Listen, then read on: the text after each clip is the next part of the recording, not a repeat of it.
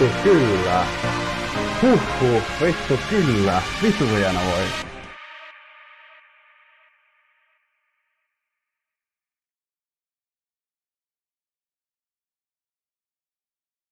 Odota hetki.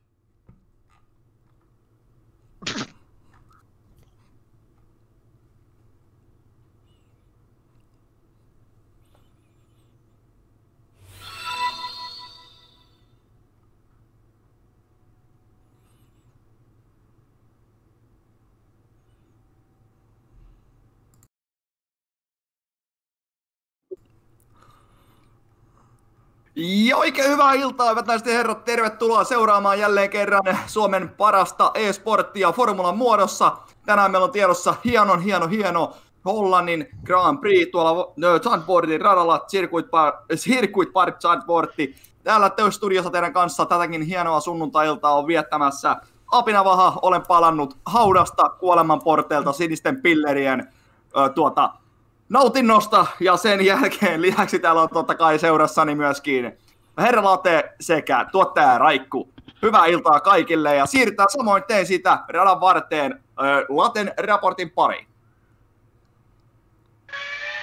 Erinomaista iltaa täältä Hollannista. Olemme nauttineet erittäin hyvästä säästä koko viikon ja kuljettajakin, kuljettajakin ovat pystyneet rentoutumaan punasävytteisten lyhtyjen alueella. Mutta sen pitämättä puhetta illan Top Dogit. Yksi. Jatkuuko Hersi Persi voittokulku? Kaksi. Miten Miiku 93 poissaolo näkyy Mercedesen menestyksessä? Kolme.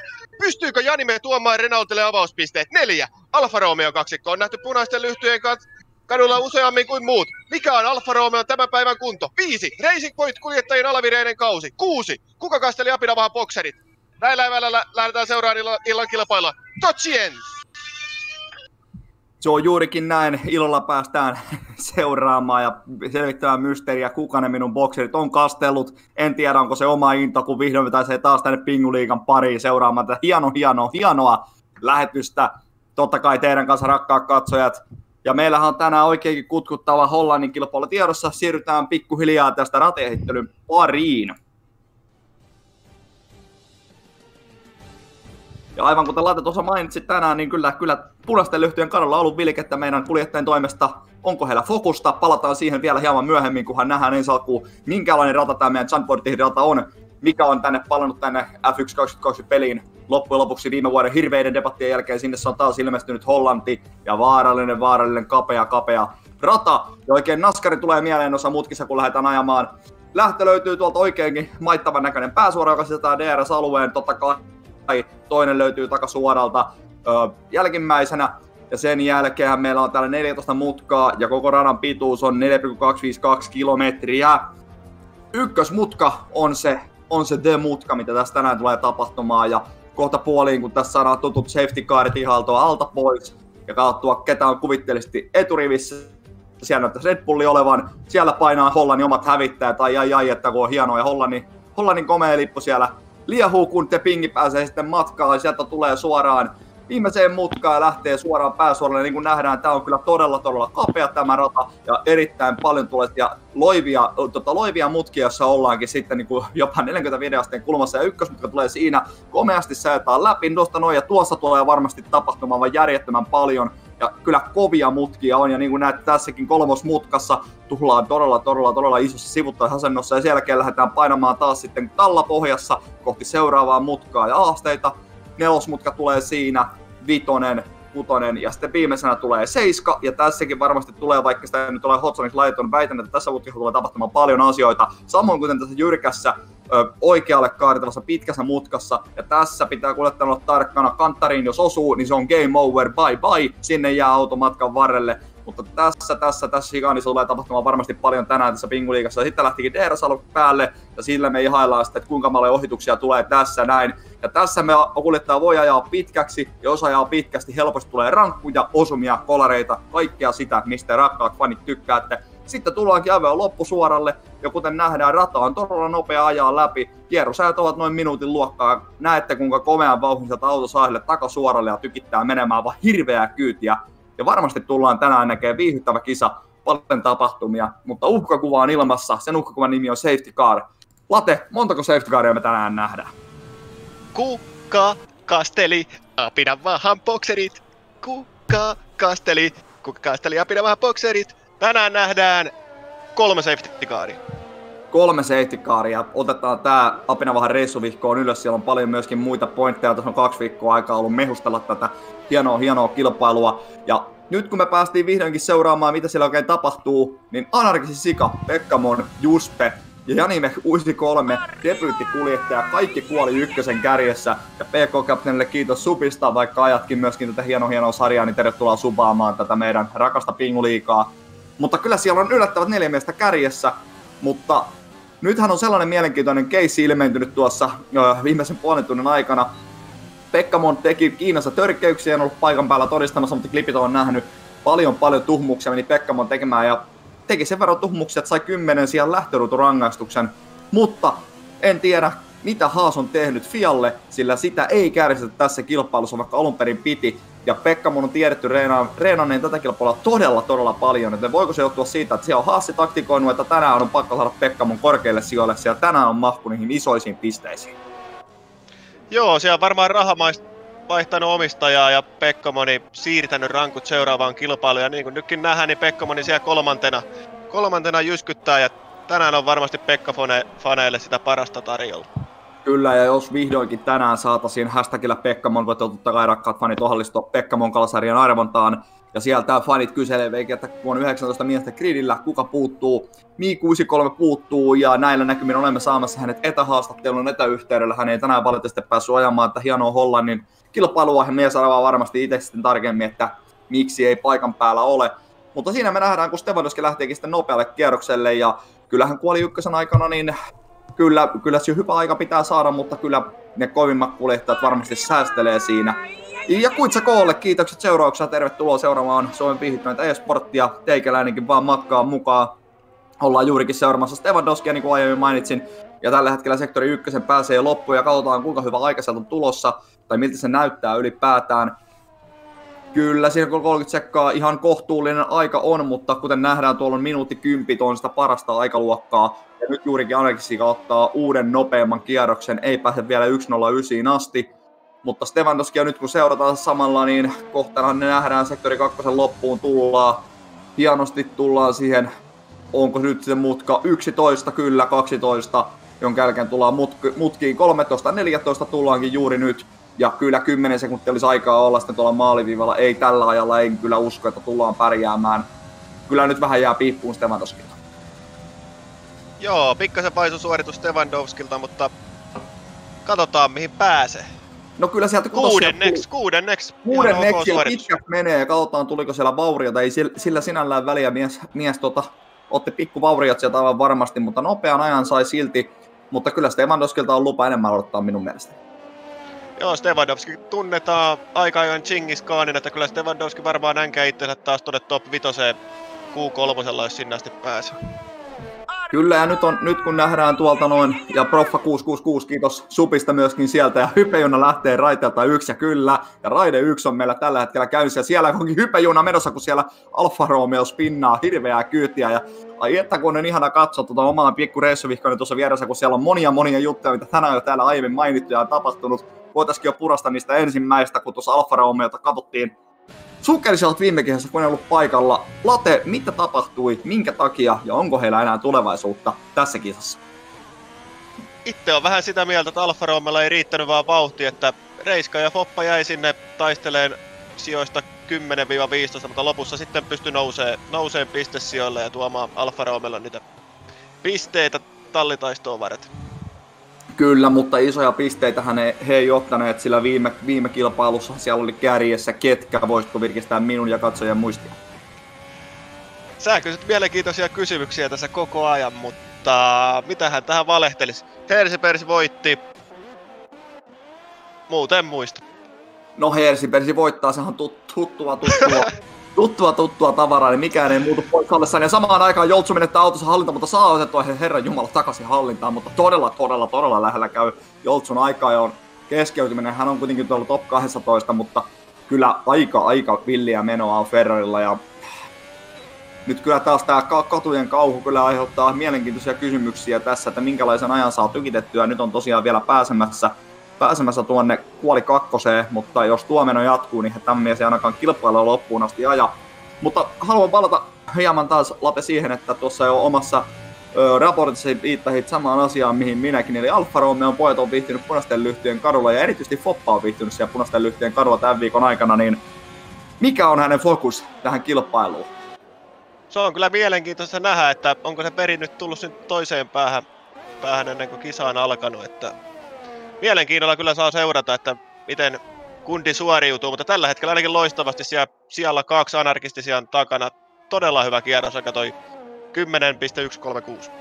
Kyllä, ja se voi aivan, hyvin olla, että sieltä on haettu juurikin vauhtia sieltä punaisten punaisten lyhtyjen kadolta. Onhan tuokin Alfa Romeon auto hieman punaisen värinen. Kyllä hyvää suorittamista on nyt, mutta onkohan sitten ainakin siellä annettu tuota Miikuisi kolmosen ykköskuljettajan auto, sillä hän dominoi tällä hetkellä tuolla kärjessä. Ja juuri kun pääsen sanomasta, hyvät nöystä herrat, kuka muu 4X Champ Hersi Persi tykittää nopeimman ajan. Totta kai vielä on paljon auki, vielä löytyy kuoli kakkonen, kuoli kolmannen jäljellä, mutta kyllä taas taas hieman allekirjoittamata masentaa, että eikö tuolla ketään haastamaan tuota miestä. Joka mutta, kerta, joka kisa samat kysymykset. Mutta on kyllä tiukkaa, että kun katsotaan tilannetta tällä hetkellä, niin 12 kuljettajaa on alle sekunnin sisällä ja kärki kolmikon ero on kahdeksan tuhannesosa. Kyllä, siis hyvin, hyvin pieniä eroja on, mikä on aivan varmasti ma- mahtavaa kisaa lupailee, niin kuin aiemmin omassa puheessakin mainitsit, että itselläkin on ollut sen kutkutus ollut siellä tuolla noin tuolla oikeassa, oikeassa pottuvarpaassa, niin on ollut, että tästä tulee hieno kilpailu, jotenkin tahdon uskoa siihen. Kapea rata, nopea rata, hieman uusi kuitenkin kaikille kuljettajille Pinguliikaa tosiaan viidettä kautta jo ajetaan, mutta vasta toista kautta on mukana tämä Zandvoortin kil- osakilpailu, niin kyllä tämä on silti hieno kisa, oli minun mielestä viime vuonnakin esimerkiksi ajaa. No mulla on vähän erilainen mielikuva tästä radasta, että itse ei hirveästi napostellut tämän reenaaminen ja en muista päätikö tämänkin kisan keskeytykseen, koska motivaatio oli erittäin alhaalla tässä kohtaa kautta ja sopimusneuvottelu oli käynnissä ja Sopimusneuvottelut oli, oli käynnissä kova, kovaa kyytiä latesilla ja katkesi, katkesiko ääniyhteys minun asiantuntijaan Eerakaan vielä näillä näkymin. Ei katkennut, katkes vaan ajatuksen kulku, mutta olemme saaneet Miikun studioon. Tervetuloa Miikuisi kolme studioon ja mitäs, mitäs, mitäs mies, missä, missä painat, missä menet, minkä vuoksi, kun et ole tänne päässyt ajamaan?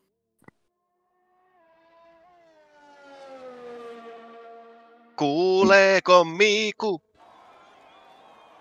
Jos ei tuolla lurituksella tule Miiku esiin, niin ei kyllä tule minkäänlaisella lurituksella.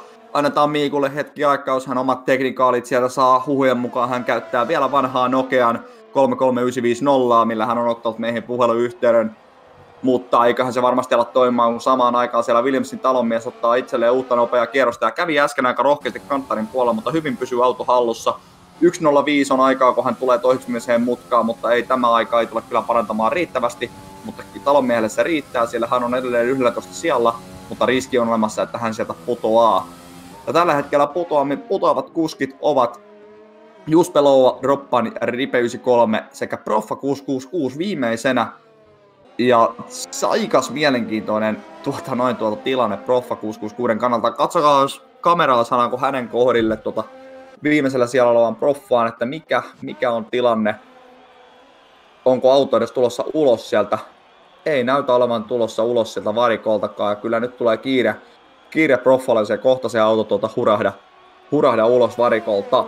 Mutta ei pohdita sitä sen enempää, siellä on nopealla kierroksella aivan varmasti. Nyt lähtee Proffa liikkeelle ja kyllähän tulee vielä ehtimään. Palataan Proffaan hienen, hienen hetken kuluttua ja seurataan mitä Ripe 93 tekee, kun hän aloittaa nopean kierroksen. Tässä on juuri tämä ensimmäiset kolme mutkaa kyllä tässä mielenkiintoisesti painetaan tuo, tuo vinossa, vinossa ajaminen ainakin itselleni oli alkuun silloin, kun ajettiin vielä sinun kanssa latetta sarjaa, niin kyllä, kyllä oli tuo mielenkiintoisia mutkia ajaa ja varsinkin ensimmäiset kerrat.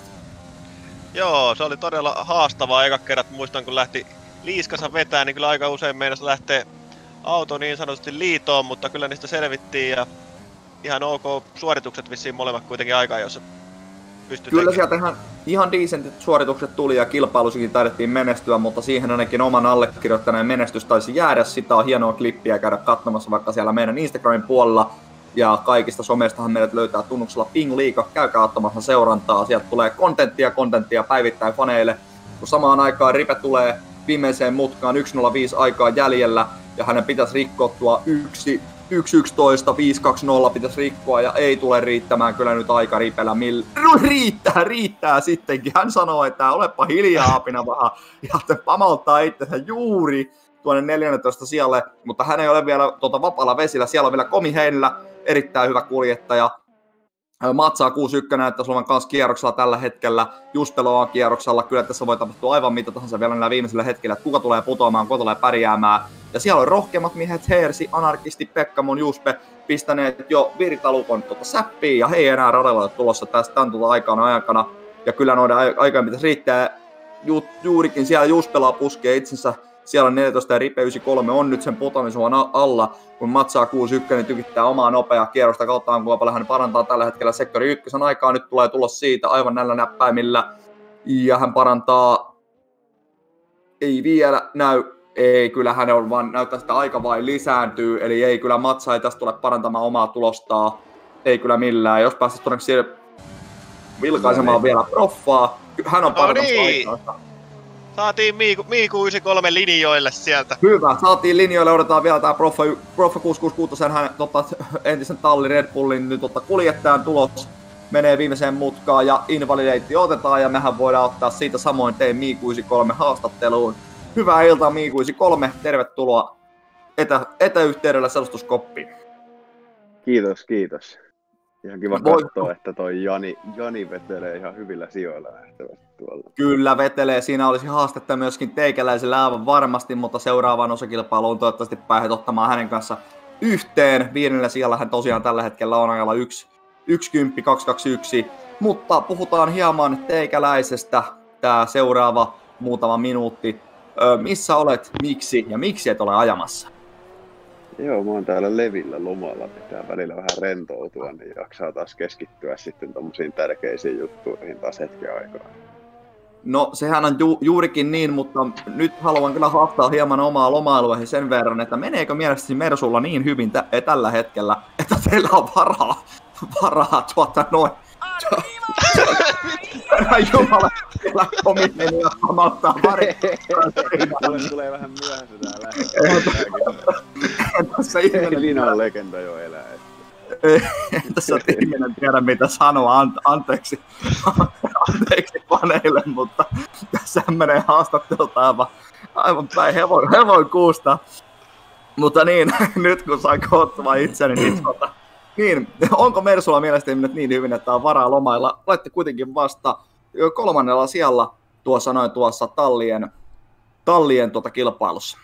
No joo, varmasti meillä on silti enemmän pisteitä, mitä Red Bullilla oli viime vuonna tähän aikaan. Ja, tota, siis äh, tähän reissuun nyt ei olisi voinut parempaa aikaan tulla, kun tämä Hollanti on sellainen rata, missä tota, ei varmasti itse olisi ollut parhaimmillaan, vaikka olisi jaksanut reenatakin, kun viime vuonna en tätä, tätä ajanut myöskään, silloin oli jossain silloinkin ja en ollut, tai siis mä en ole ikinä ajanut tätä rataa muuta kuin silloin, kun ollaan joskus läpällä vedetty jotain viiden, viiden kisa tai viiden läpin kisoja, niin, niin tuota, No sehän on- vähän, vai, vähän, vaikea, vai, vähän vaikea vastata rehellisesti sun kysymykseen. Ei varmasti varaa ole, mutta sanotaanko nyt näin, että kyllä mä luotan enemmän anarkistisikaa, että se ottaa tuolta meille taas lisää saali tai piste, pistesaalista kartuttaa. Ja tämähän on maratoni eikä sprintti, niin kuin viime kaudella nähtiin. Että kyllä mä luotan itteeni niihin, niissä vahvoissa kisoissa, mitä on sitten tulossa. Niin Sehän on juuri näin, ja El- Elmuselle kiitos follauksesta, tervetuloa seuraamaan Pingu Liikaa, Zandvoortia, Hollannin osakilpailua.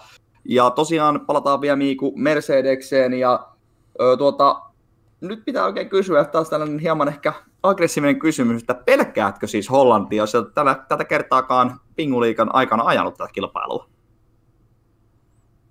No en mä nyt silleen pelkää tietenkään mitään, mutta totta kai fakta on se, että jos niinku, tota, jos mä olisin ajanut tänä viikonloppuna, niin kyllä olisi pitänyt reenata aika paljon, että, että silleen siinä viiden läpin kisassa, mikä just ajettiin pari viikkoa sitten, niin Poppa veteli, okei se oli viime kaudella ajanut, missä oli jotain kolme neljää sekuntia kierros nopeampaa tuolla, että kyllä se vaan fakta on, että olisi pitänyt varmaan taas toista sataa kierrosta ajaa, että olisi, niin kuin, olisi vähän ollut vauhdissa. Että edelleen parempi, paras kisa olla tällä kaudella pois, jos jostain pitää olla pois. Toivottavasti loppukaudella ei enää tarvitse olla kisoista.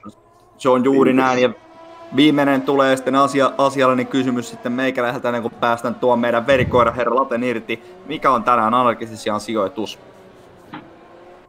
Mm, joo, mulle ei ole, mä piti veikata, veikatakin, mutta mä en kerennyt. Käykää paitovei katsomassa IG-päivitystä, mistä mä täällä kommentoin. Mutta siis anarkisti on tänään kolmas, että kyllä järjestys on ihan pommi varmasti Kalle, Poppa ja anarkistisikka. Sitten on Kaspi. All right, kiitokset minun osaltani. Herra Late, Estradi on sinun. Ole hyvä. no niin, olipa hävytön IG-mainos siihen väliin, mutta sun naisfanit kuuli, että sä tuut haastatteluun, niin meidän inboxi alkoi täyttyä kysymyksistä, niin mä voisin esi- esittää niistä muutaman sulle tässä nyt. Ne on aika tällaisia lyhyitä, niin vastaan lyhyesti. Treffiltä vai ulkojäät? Riippuu päivästä. Hauiksen ympärysmitta? En ole Riippu- mitään. Riippuu päivästä, okei. Okay. Ei, ei, ole, ei, ole, ei, ole, tuota, ei ole meidän molempien sali isoin, se on varma. Mutta ei pieninkään, mä näin todella pienen käden. Tykkäätkö joogata? Joo, on se ihan hauska. Kiitos. Täällä tuli vähän, vähän tota epäasiattomia kysymyksiä, niin mä en vitti niitä tässä suorassa lähetyksessä kysyä, mutta mä lähetän ne sulle sähköpostiin. Joo, laita vaan. Sä oot ennenkin pistänyt sinne. Kiitoksia Miiku 93 haastattelu ja hyviä loma, loman jatkoja vaan sinne Levin suuntaan. Ja muistan nauttia myöskin siellä etänä teikäläinenkin tästä Pinguliikan Hollannin osakilpailusta, eikö niin? Joo, jees, kiitos. Vallaan Jees, kiitoksia. Hyvä, moi moi. Moi. Ja, ja Valdemar Eräpuikko. ja, ja sama, Valdemar Eräpuikko on vihdoin päässyt takaisin punaisten lyhtyjen alueelta ja heiluttelee tuota kopista ja näyttelee sähkettä. Vartin päästä pitäisi alkaa sataa, mutta kisa on aurinkoista. ja Valdemar Arpuikkohan totta kai tunnetusti uusille faneille voidaan kertoa. Hän on Pinguliigan ikioma säämies, joka on tehnyt hieman katoamistemppuja tämän kauden aikana, ei ole ilmestynyt paikalle. Ja kuoli kakkonen on päässyt tässä samaan aikaan, kun haasteltiin Miiku 93, eli tänään poissa olevaa kuljettajaa, niin on päässyt jo parhaaseen vauhtiin. Tällä hetkellä meillä johtaa Joltsu Juspe Huhhuh. 96 johtaa tuota noin tuota koko kilpailua. Ja mille sanoit huhhuh, kun noin säikähdit? Oliko selostukseni noinkin hienoa?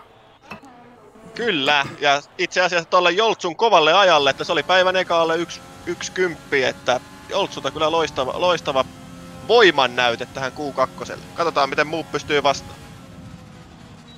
Kyllä se on, tota, se on juurikin näin, että melkoinen hauviksen näyttäjä. Sieltä tulee saman tien perään toinen mies, lyö oma hauviksen tiskiin. Janime 93 lyö sieltä tulokas kuljettaja.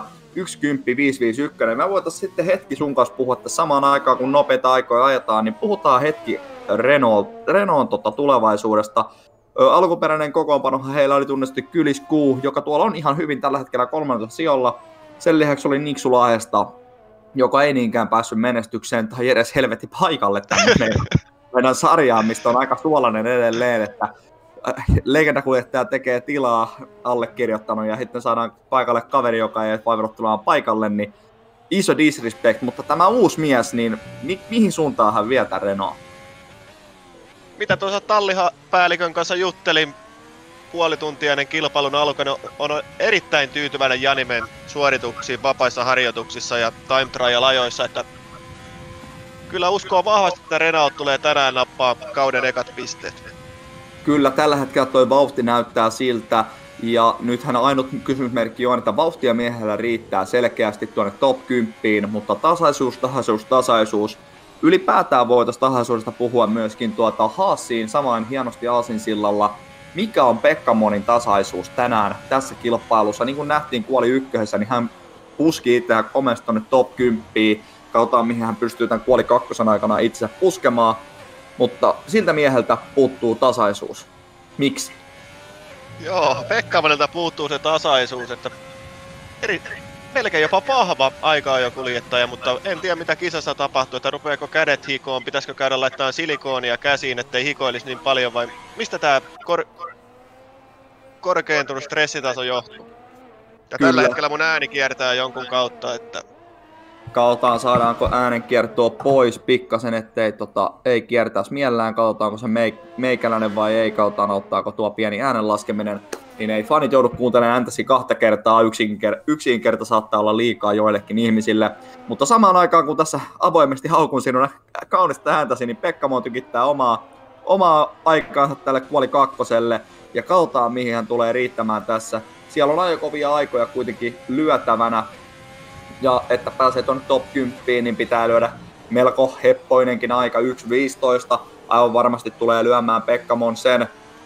Takuu varmasti voisi jopa päännellä pantiksi, pantiksi ellei hän tuosta ulos vielä jotenkin onnistu ajamaan tai tuota hylkyä kierrokselle ottamaan. Mutta sitten alkaa tulla taas tiiviimpää. Eli kyllä tuonne 1.10 pitäisi päästä, jos tuohon top 10 haluaa. Ja et siten, ettei Sade yllätä tässä ainakaan tämän mukana. Ja kyllä Pekkamon delivers ja kolmos sijalle ja kyllä on ehkä hieman yllättävä kolmikko on nyt tuolla kärjessä. Joltsu, Anarkisti, Pekkamon ja voidaan jopa sanoa, että viisikko, sillä Janime 93 ja Juspe on nyt top 5.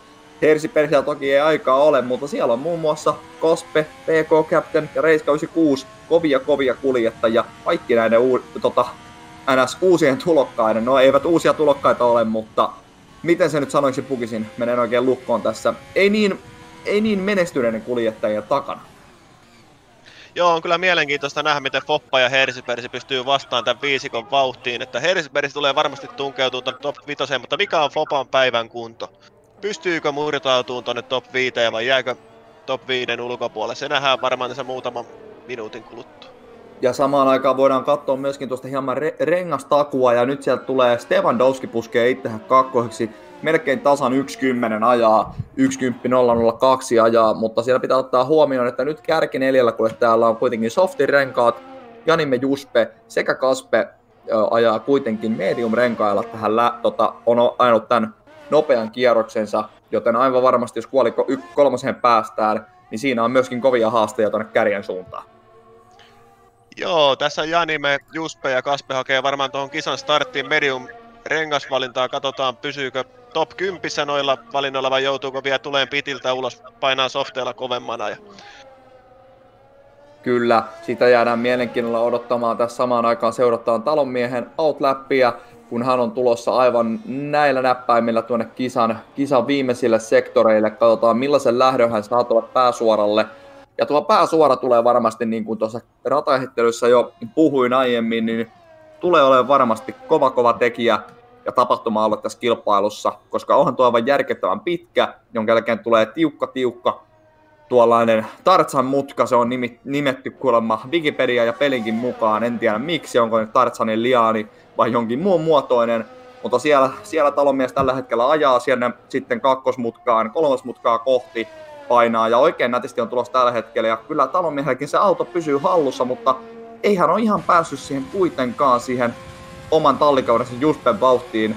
Ja samaan aikaan Foppa tykittää itseä kolmanneksi komealla ajalla 1.10.006 ja kyllä kärjessä on tiukkaa, tiukkaa, tiukkaa taistelua. Siellä mahtuu top 10 nyt kaikki kuljettajat alle sekunnin sisään. Ja katsotaan, miten muuttuu tilanne. Pekka on pudonnut viidenneksi. Katsotaan, mihin talonmiehellä riittää paukut, kun hän tulee kisan keskivaiheella, tulee aivan kohta sektori kakkosen päätökseen. Katsotaan, onko aika paranemassa vai ei aivan pieni hetki, kolmossektori, anteeksi, kakkossektorilla liuhuu keltaiset liput, mutta ne päättyy heti, eli ei aiheuta mitään toimenpiteitä siellä suunnalla. Sektori kolmoselle pääsee nyt Tolomes lähtemään, ja kyllä nyt heikolta näyttää, ei tulla kyllä tarpeeksi ripeästi tähän ykkösmutkaan. Hieman, hieman huono ulostulo nyt kyllä tuli tuossa, tuossa toiseksi myös kolmannesta mutkassa, ja ei tämä aika, ei vaan valitettavasti, ei, ei riitä tuonne top 10. Ja jälleen kerran minä valehtelen, en osaa Ja kyllähän se riittää. Jälleen se kerran. jälleen kerran. Jälleen kerran, jälleen kerran se riittää aina kun minä pääsen jotain muuta manaamasta. Mutta kova suoritus talonmieheltä ja tällä hetkellä putoamisuhan alla ovat Kaspe, PK Captain Kylis, Guu, Juspelo ja Ripeysi kolme, kolme viidestä on tuota sellaisia, jotka minä voisin jopa ehkä uskoa, että tuolla ovat, mutta että Kaspe ja PK Captain ovat putoamisen alla kuoli kakkosessa, se on aika iso juttu.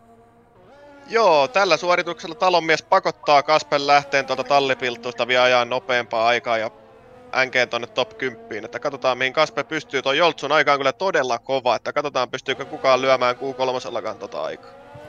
Kyllä, tuohan tota, sinällään sille on väliä kuoli kolmosen aikana, nyt kun ollaan tuossa aiemminkin jo puhuttu, tai viime kilpailussa kun olin selostamassa paikalla niitä hieman samaa hypätin, mutta totta kai kuoli kolmoseenhan kaikki lähtee ns. puhtaalta pöydältä, eli jos siellä sataa, niin sitten se nopein sadeajan kierroshan se ratkaisee, eikä tämä vanha aika. Joten sinällään, sinällään pöytä putsataan tämän jälkeen, mutta nyt lähtee Kaspe sitten tulemaan pääsuoraan kohti. Ja nyt nähdään, mihin täällä McLarenin oranssilla pirulla tulee tänään riittämään. Viime kilpailukin oli, oli tietynlaisia haasteita. Komihenillä putosi kuoli, kuoli ykköhessä, niin kyllä nyt Kaspelta valitaan taas isoja tekoja, jos haluaa McLarenin tuoda sinne omalle tasolle, eli taistelemaan siitä siitä, niin siitä kärjestä, sillä tällä hetkellä McLaren ei kuulu edes tallien top kolmoseen, vaan siellä on tosiaan Fefe, Red Bulli ja Mersu kärjessä. Ja kyllä McLaren sinne ainakin minun mielestä kuuluisi top kolmoseen. Joo, viime kauden perusteella McLarenin pitäisi siellä olla, mutta tämä kausi on lähtenyt vähän vaikeasti liikkeelle.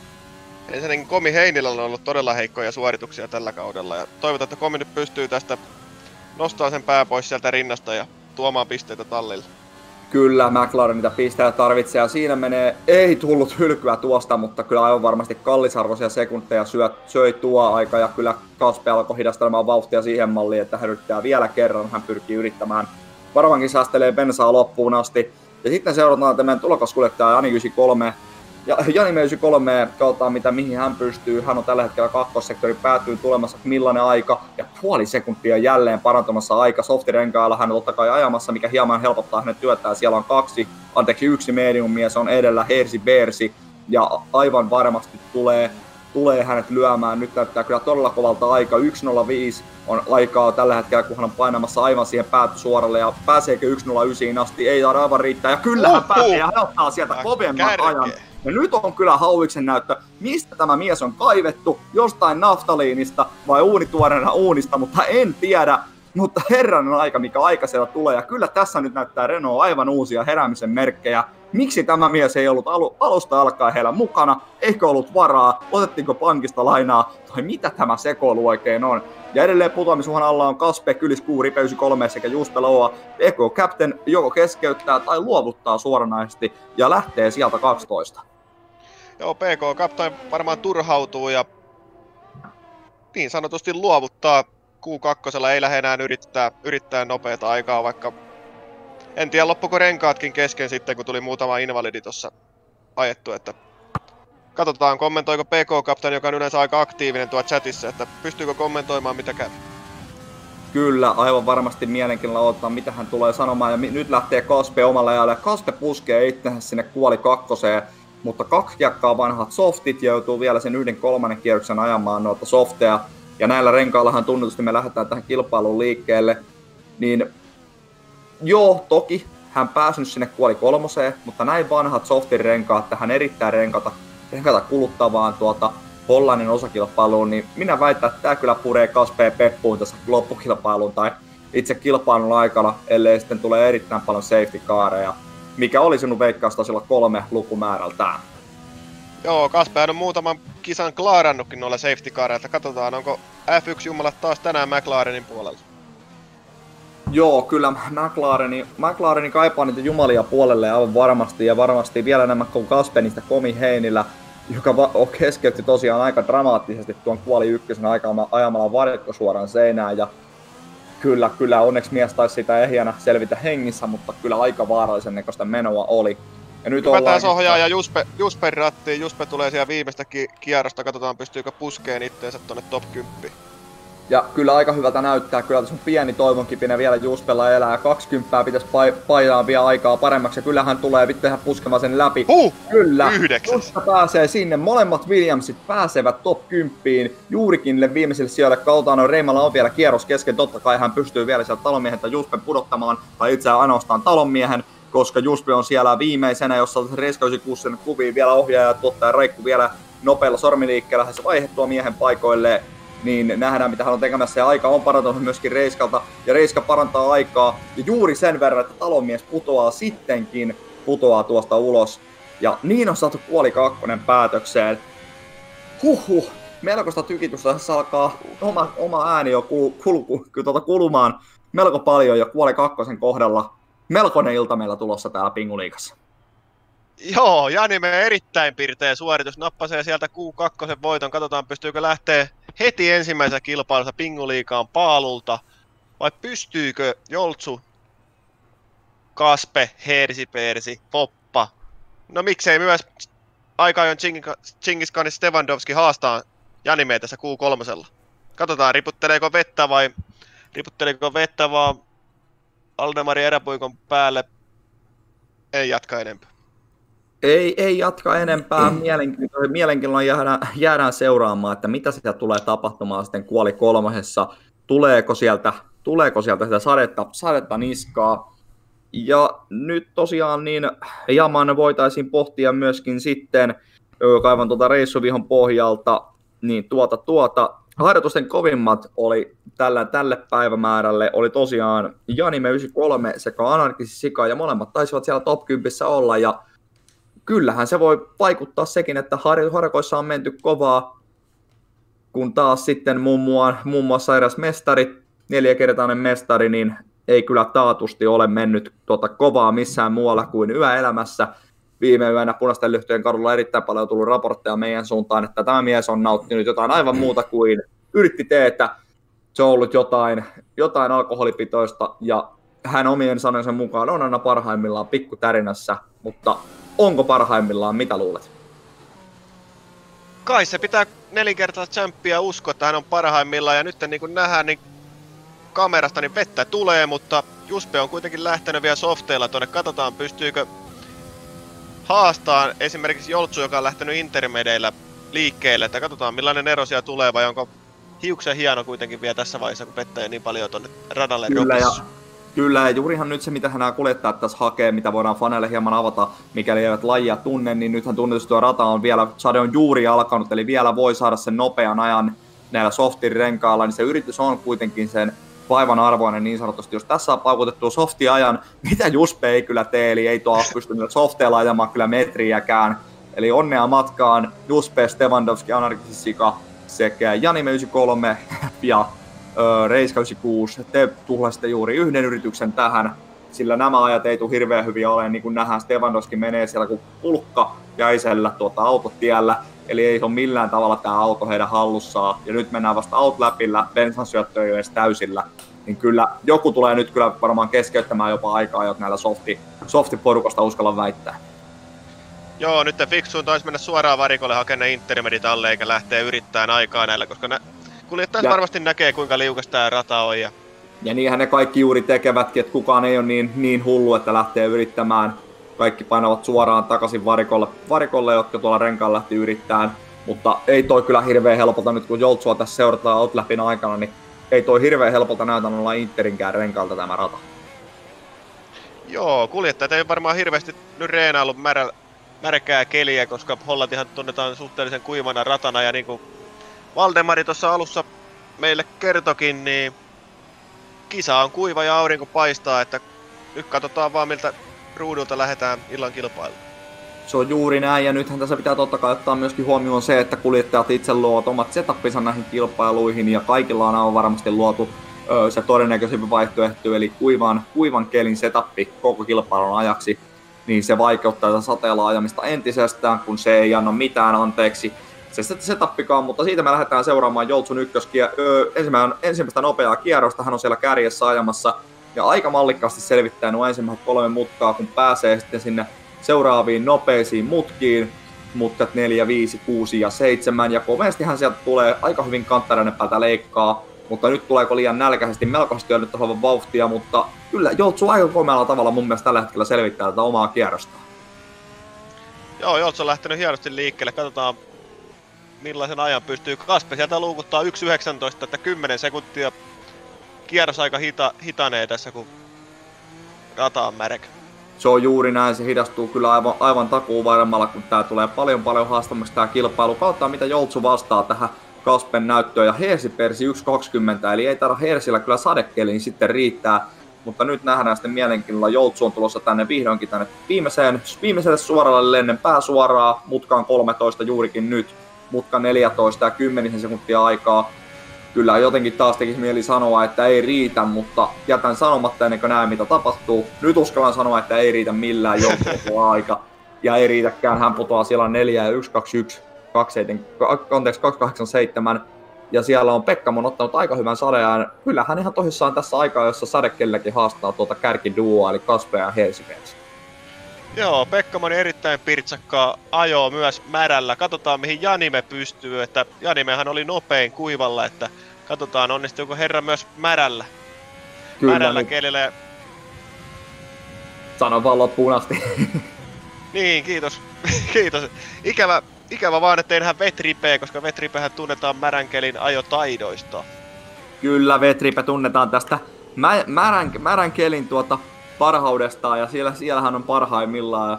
Mutta nyt nähdään sitten mihin Foppa pystyy, onko hän parhaimmillaan vai huonoimmillaan. Ja tosiaan se, mistä puhuttiin aiemmin, niin kyllä, kyllä oli niin kuin lehmän häntä se Kiinan osakilpailu tuota, ö, Alfa Romeon poikien osalta, mutta nyt on molemmat puoli kolmosessa ja Foppa tällä hetkellä tulossa viimeiselle sektorille melko kovalla vauhilla tulee, mutta saa pidettyä auto hallussaan ja sitten lähtee kohti viimeistä takasuoraa ja 1.05 on aikaa. Tiukille kyllä tulee menemään myöskin tämä aika, että riittääkö tuonne top 10. 10 sekuntia pitäisi olla maaliviivan yli, kyllä, kyllä, kyllä tiukille menee, mutta Foppa antaa aivan varmasti kaikkensa ja kolme sekuntia on edellä aikaa päästä sen top kolmoseen. Ja mitä hän suorittaa tämän ajan? Ja kyllä hän sieltä ottaa kovemman ajan 1.19 ja 26, anteeksi 866 ja siellä hän ottaa komea komea aika, hieno suorite, mutta mitä tekee Reiska perässä, se on nyt se mysteeri. Joo, loistava aika Popalta, että kuulin villiä huottaa kaveri poistanut kaikki muut pelit ja keskittyy pelkästään formulan pelaamiseen ja näyttää siltä, että tämä työ tuottaa hedelmää ja siellä Q3 kärjessä. Loistava suoritus Alfa Romeo kuljettajalta. Kyllä, ja nyt on todella lähellä anarkisella keskeyttäminen. Hän menettää autohallinnan aivan täysin tuossa loppusuoralla. Ja Stevandowski saa 1-2-1. Ja nyt on Janime on sitten viimeinen, mitä me seurataan mielenkiinnolla. Sektori 2 on 55 sekkaa. Minuutti, hän pääsee viimeiselle takasuoralle. Ja kyllä nyt väitän, että hän tulee pääsemään tuohon top 5, mutta riittääkö aivan sitten top kolmeen? Ei taida aivan riittää. Hieman huono ulostulo nyt tulee kyllä siitä mutkasta, kun hän pääsee nyt siellä aivan viimeiset takasuoralle 1.15 aikaa. Ja aina on muutamia sekunteja jäljellä aikaa, kun hän pääsee sen tykittämään, mihin hän riittää. Ja hänellä riittää kolmos siellä. Olin jälleen kerran väärässä. Kannattaako mun herra kaikki lupailut tästä aivan ensi alkuunsa? Sun kannattaa kyllä lopettaa toi veikka, veikkailu, että kannattaa siis sanoa, kun kaverit on ylittänyt maalilinjan, että mikä on se tulos ja suoritus. Kyllä, pitää, pitää oppia olemaan hiljaa, mutta en, enpä kyllä vaan opi vuodesta toiseen. Arva, arvailen ja arvailen väärin, mutta ei saanut sen menoa haitata. Ja katsotaan, onko meillä uu, uu, uusia miehiä radalla ottamassa uutta nopeaa aikaa. Hieman heikolta näyttää. Ja enää kuolikolmosta jäljellä viisi minuuttia. Ja mielenkiinnolla nähdään, mitä tulee tapahtumaan. Ja Profa 666 on päässyt Ville päälle. Hän luovuttaa yhden, tuota, yhden tota, tilauksen faneille ja se osuu tällä kertaa Jersku Pelle. Onnittelut Jerskulle, sieltä osu arvonta, arvonta osuu komeasti kohilleen, ellei ollut lahjottu Profa ostamaan sinulle tuosta subi. Toivottavasti oli arvalla, mutta onnittelut siitä ja tervetuloa seuraamaan. 1-1 Sokrates 1-1, tervetuloa myöskin seuraamaan Pinguliikaa, Suomen viihyttämintä esporttia. Hollannin osakilpailu on tällä hetkellä menossa. Tämän kauden neljäs osakilpailu on menossa. Aiemmin tosiaan on mennyt kisakalenterin mukaisesti Australia, Bahrain, Vietnam sekä Kiina. Ja Eli anteeksi, viides osakilpailu. Eli viides osakilpailu. Pitäisiköhän mun lopettaa tämä selostaminen aivan kokonaan, kun mä en osaa kunnolla edes laskea, mutta, mutta ehkä, ehkä annetaan se anteeksi, kun on ollut lasken omia kilpailuja vain, eikä teidän kilpailuja. Joo, Mutta fanit, fanit kyllä nauttii sun suorituksesta. Täältä tuli kysymys studioon, että onko apina Oskari Saari Vaha jo hakenut Viasatin? Viasatti koitti tuossa tosiaan mua tuossa ensimmäisen ohjelkilpailun jälkeen ostaa, mutta mä sanoin, että mulla on tää, tää vuosi on sopimusten jäljellä Pinguliikan kanssa. Tää ensimmäinen try, tryout vuosi sopimus viedään tää aika loppuun ja sitten voidaan katsoa, että jos Viasatti mut haluaa vielä sen jälkeen, tänään en näytä, että ei hirveän vahvoja ollut, kun ei osaa laskea, en osaa arvioida kuljettajan suoritteita, mutta ei anneta sen meno haitata, vaan keskitytään taas, taas kilpailuun eikä meikäläisen sopimustilanteeseen. Täällä on paljon parempaakin viihdettä tänään taljolla, nimittäin sitä e-sportti formulan ajoa. Ja nyt me nähdään, kun Hersiperis ajaa kun vimmattu minun mielestäni sadekkelillä ja Reiska 96 on siinä tiellä. Ajaako Reiska 96 nopeata vai tuleeko hän blokkaamaan sen Hersiperisin tilan ja ajan? Hersiperisi huonontaa aikaansa, ei pysty parantamaan ykkössektorilla, ja kiire tulee, ja Reiska on aivan siinä tiellä, ja voin kuvitella, kuinka tämä mies huutaa tuonne mikkinsä, että teet tilaa, teet tilaa, senkin patupassi, ehkä kuulostaa myös hieman itseltäni, mutta nyt hän pääsee ohi sitä Reiska 96 ja pääsee tykittämään kohti sitä viimeistä, viimeistä sektoria, mutta aivan varmasti kyllä, ja niin kuin näyttää siltä, että hän alkaa lämmittelemään renkaita ja ei yritä nopeuttaa aikaansa. Hersi Persilla on vielä se yksi yritys. Joo, näytti siltä että Hersipersin nopea kierros meni vähän pilalle tuossa Reiska, Reiskan ajoon, että oliko taktinen veto Alfa Romeolta, että tässä pilattiin Hersipersin mahdollisuus nousta Fopan eteen. Jos se tarkoituksenen pilaus oli, niin siitä on aivan varmasti Hersipersin sen Fialle vielä sen, sen raportin aivan, aivan takuu varmasti, mutta kyllä siellä on mielenkiintoisia aikoja eletään. Kyllä kyllä Foppa on edelleenkin lyömätön tuolla omalla, omalla kärkiajallaan, mutta katsotaan mihin pystyy nyt sitten Hersi Persi, kun hän lähtee viimeiseen rynnistykseen. Ja, ja kyllä häntä varmasti harmittaa, sillä tämä on nyt se viimeinen chance ja yksikin virhe, disqualify tai mikä tahansa sieltä tulee, niin se on siinä ja tuo aika tulee ja pysyy ja jää. Ja kohta hän pääsee sektori ykkösen loppuun, katsotaan mikä aika, aikatulos siitä tulee, parantaako, huonontaako, kakkossektorille liehuu keltainen lippu, nyt me nähdään mikä Herisin tulos on, ja yksi kymppä on tullut aikaa lisää. Tämä mies ei pysty parantamaan tuon ykkössektorin aikaa, toki on jäljellä vielä kakkossektori, mikä on sitten sisältää sen DRS ja takasuoran, sekä kolmas sektori, mikä on myöskin se, missä sitä aikaa voidaan ottaa, jos se setup on suunniteltu noille suoranopeuksille, niin siellä se aika toki voi parantua. Joo, ja niin kuin nähdään, niin sieltä Hersberg nappasee melkein sekunnin nopeamman ajan kuin tuolla edellisellä, että nyt tullaan lujaa. lujaa että jos Hersberg pystyy pitämään vauhdin, niin menee kyllä kärkeen. Ja nyt jos ei vanhat silmäni valehtele, niin siellä on Kaspella softit tällä hetkellä alla. Eli onko, voiko rata olla kuumassa, että mies yrittää jotain aivan epätoista yritystä vai onkohan jäämässä vaan varikolle, niin näyttäisi tähän jää vaan varikolle eikä yritä mitään. Erikoinen tilanne. Kyllä Joltsu on parantamassa aikaansa puolella sekunnilla. Ja kärkeen. Ja Hersi Persi kyllä vastaa sillä paineen alla, luodaan timantteja, sanoo Hersi. Ja siellä on Herra Jumala, siellä on autot poikittain tiellä, mutta Joltsu pystyy väistämään, kuka se oli. Se oli Juspe, joka on keskeyttänyt kilpailun. Melko lähellä oli Joltsun keskeytys, mutta Juspe sillä tosiaan ilman aikaa putoaa pois, jää siihen kolmosmutkaan. Ja tiukille tullaan menemään sitten, että mihin pystyy Joltsu, pystyykö vielä Kaspe parantamaan aikaansa. Ei muuten pysty, koska hän tosiaan oli siellä varikolla alan, alan oikein kiihtymään tässä ja menettämään muistianikin on samalla, mutta ei se häiritä katsotaan mitä tekee Joltsu. Hieman pitkästi näyttää menemään tuo ö, mutka numero kahdeksan, jolla aivan väärin katon mutkaa, missä hän on tällä hetkellä. Nyt tulee ysiin tällä hetkellä. Kyllä, ja nyt pääsee sitten DRS suoralle. Ja aivan valehteni tosiaan aiemmin sadekellähän DRS ei ole käytössä, eli sitä, sitä takasiipeä ei voi avata sadekkeellä. Nyt menee rajusti pitkästi, pitkäksi Joltsua tuo jarrutuspaikka. Ja ai ei ai. tämä tämä aika ei kyllä tule parantumaan. Joltsu ajoi siinä kisan nopeinta vauhtia tällä sadekelillä, että olisi mennyt kärkeen, kärkeen kyllä helposti, jos ei olisi mennyt pitkäksi, että kyllä varmasti harmittaa.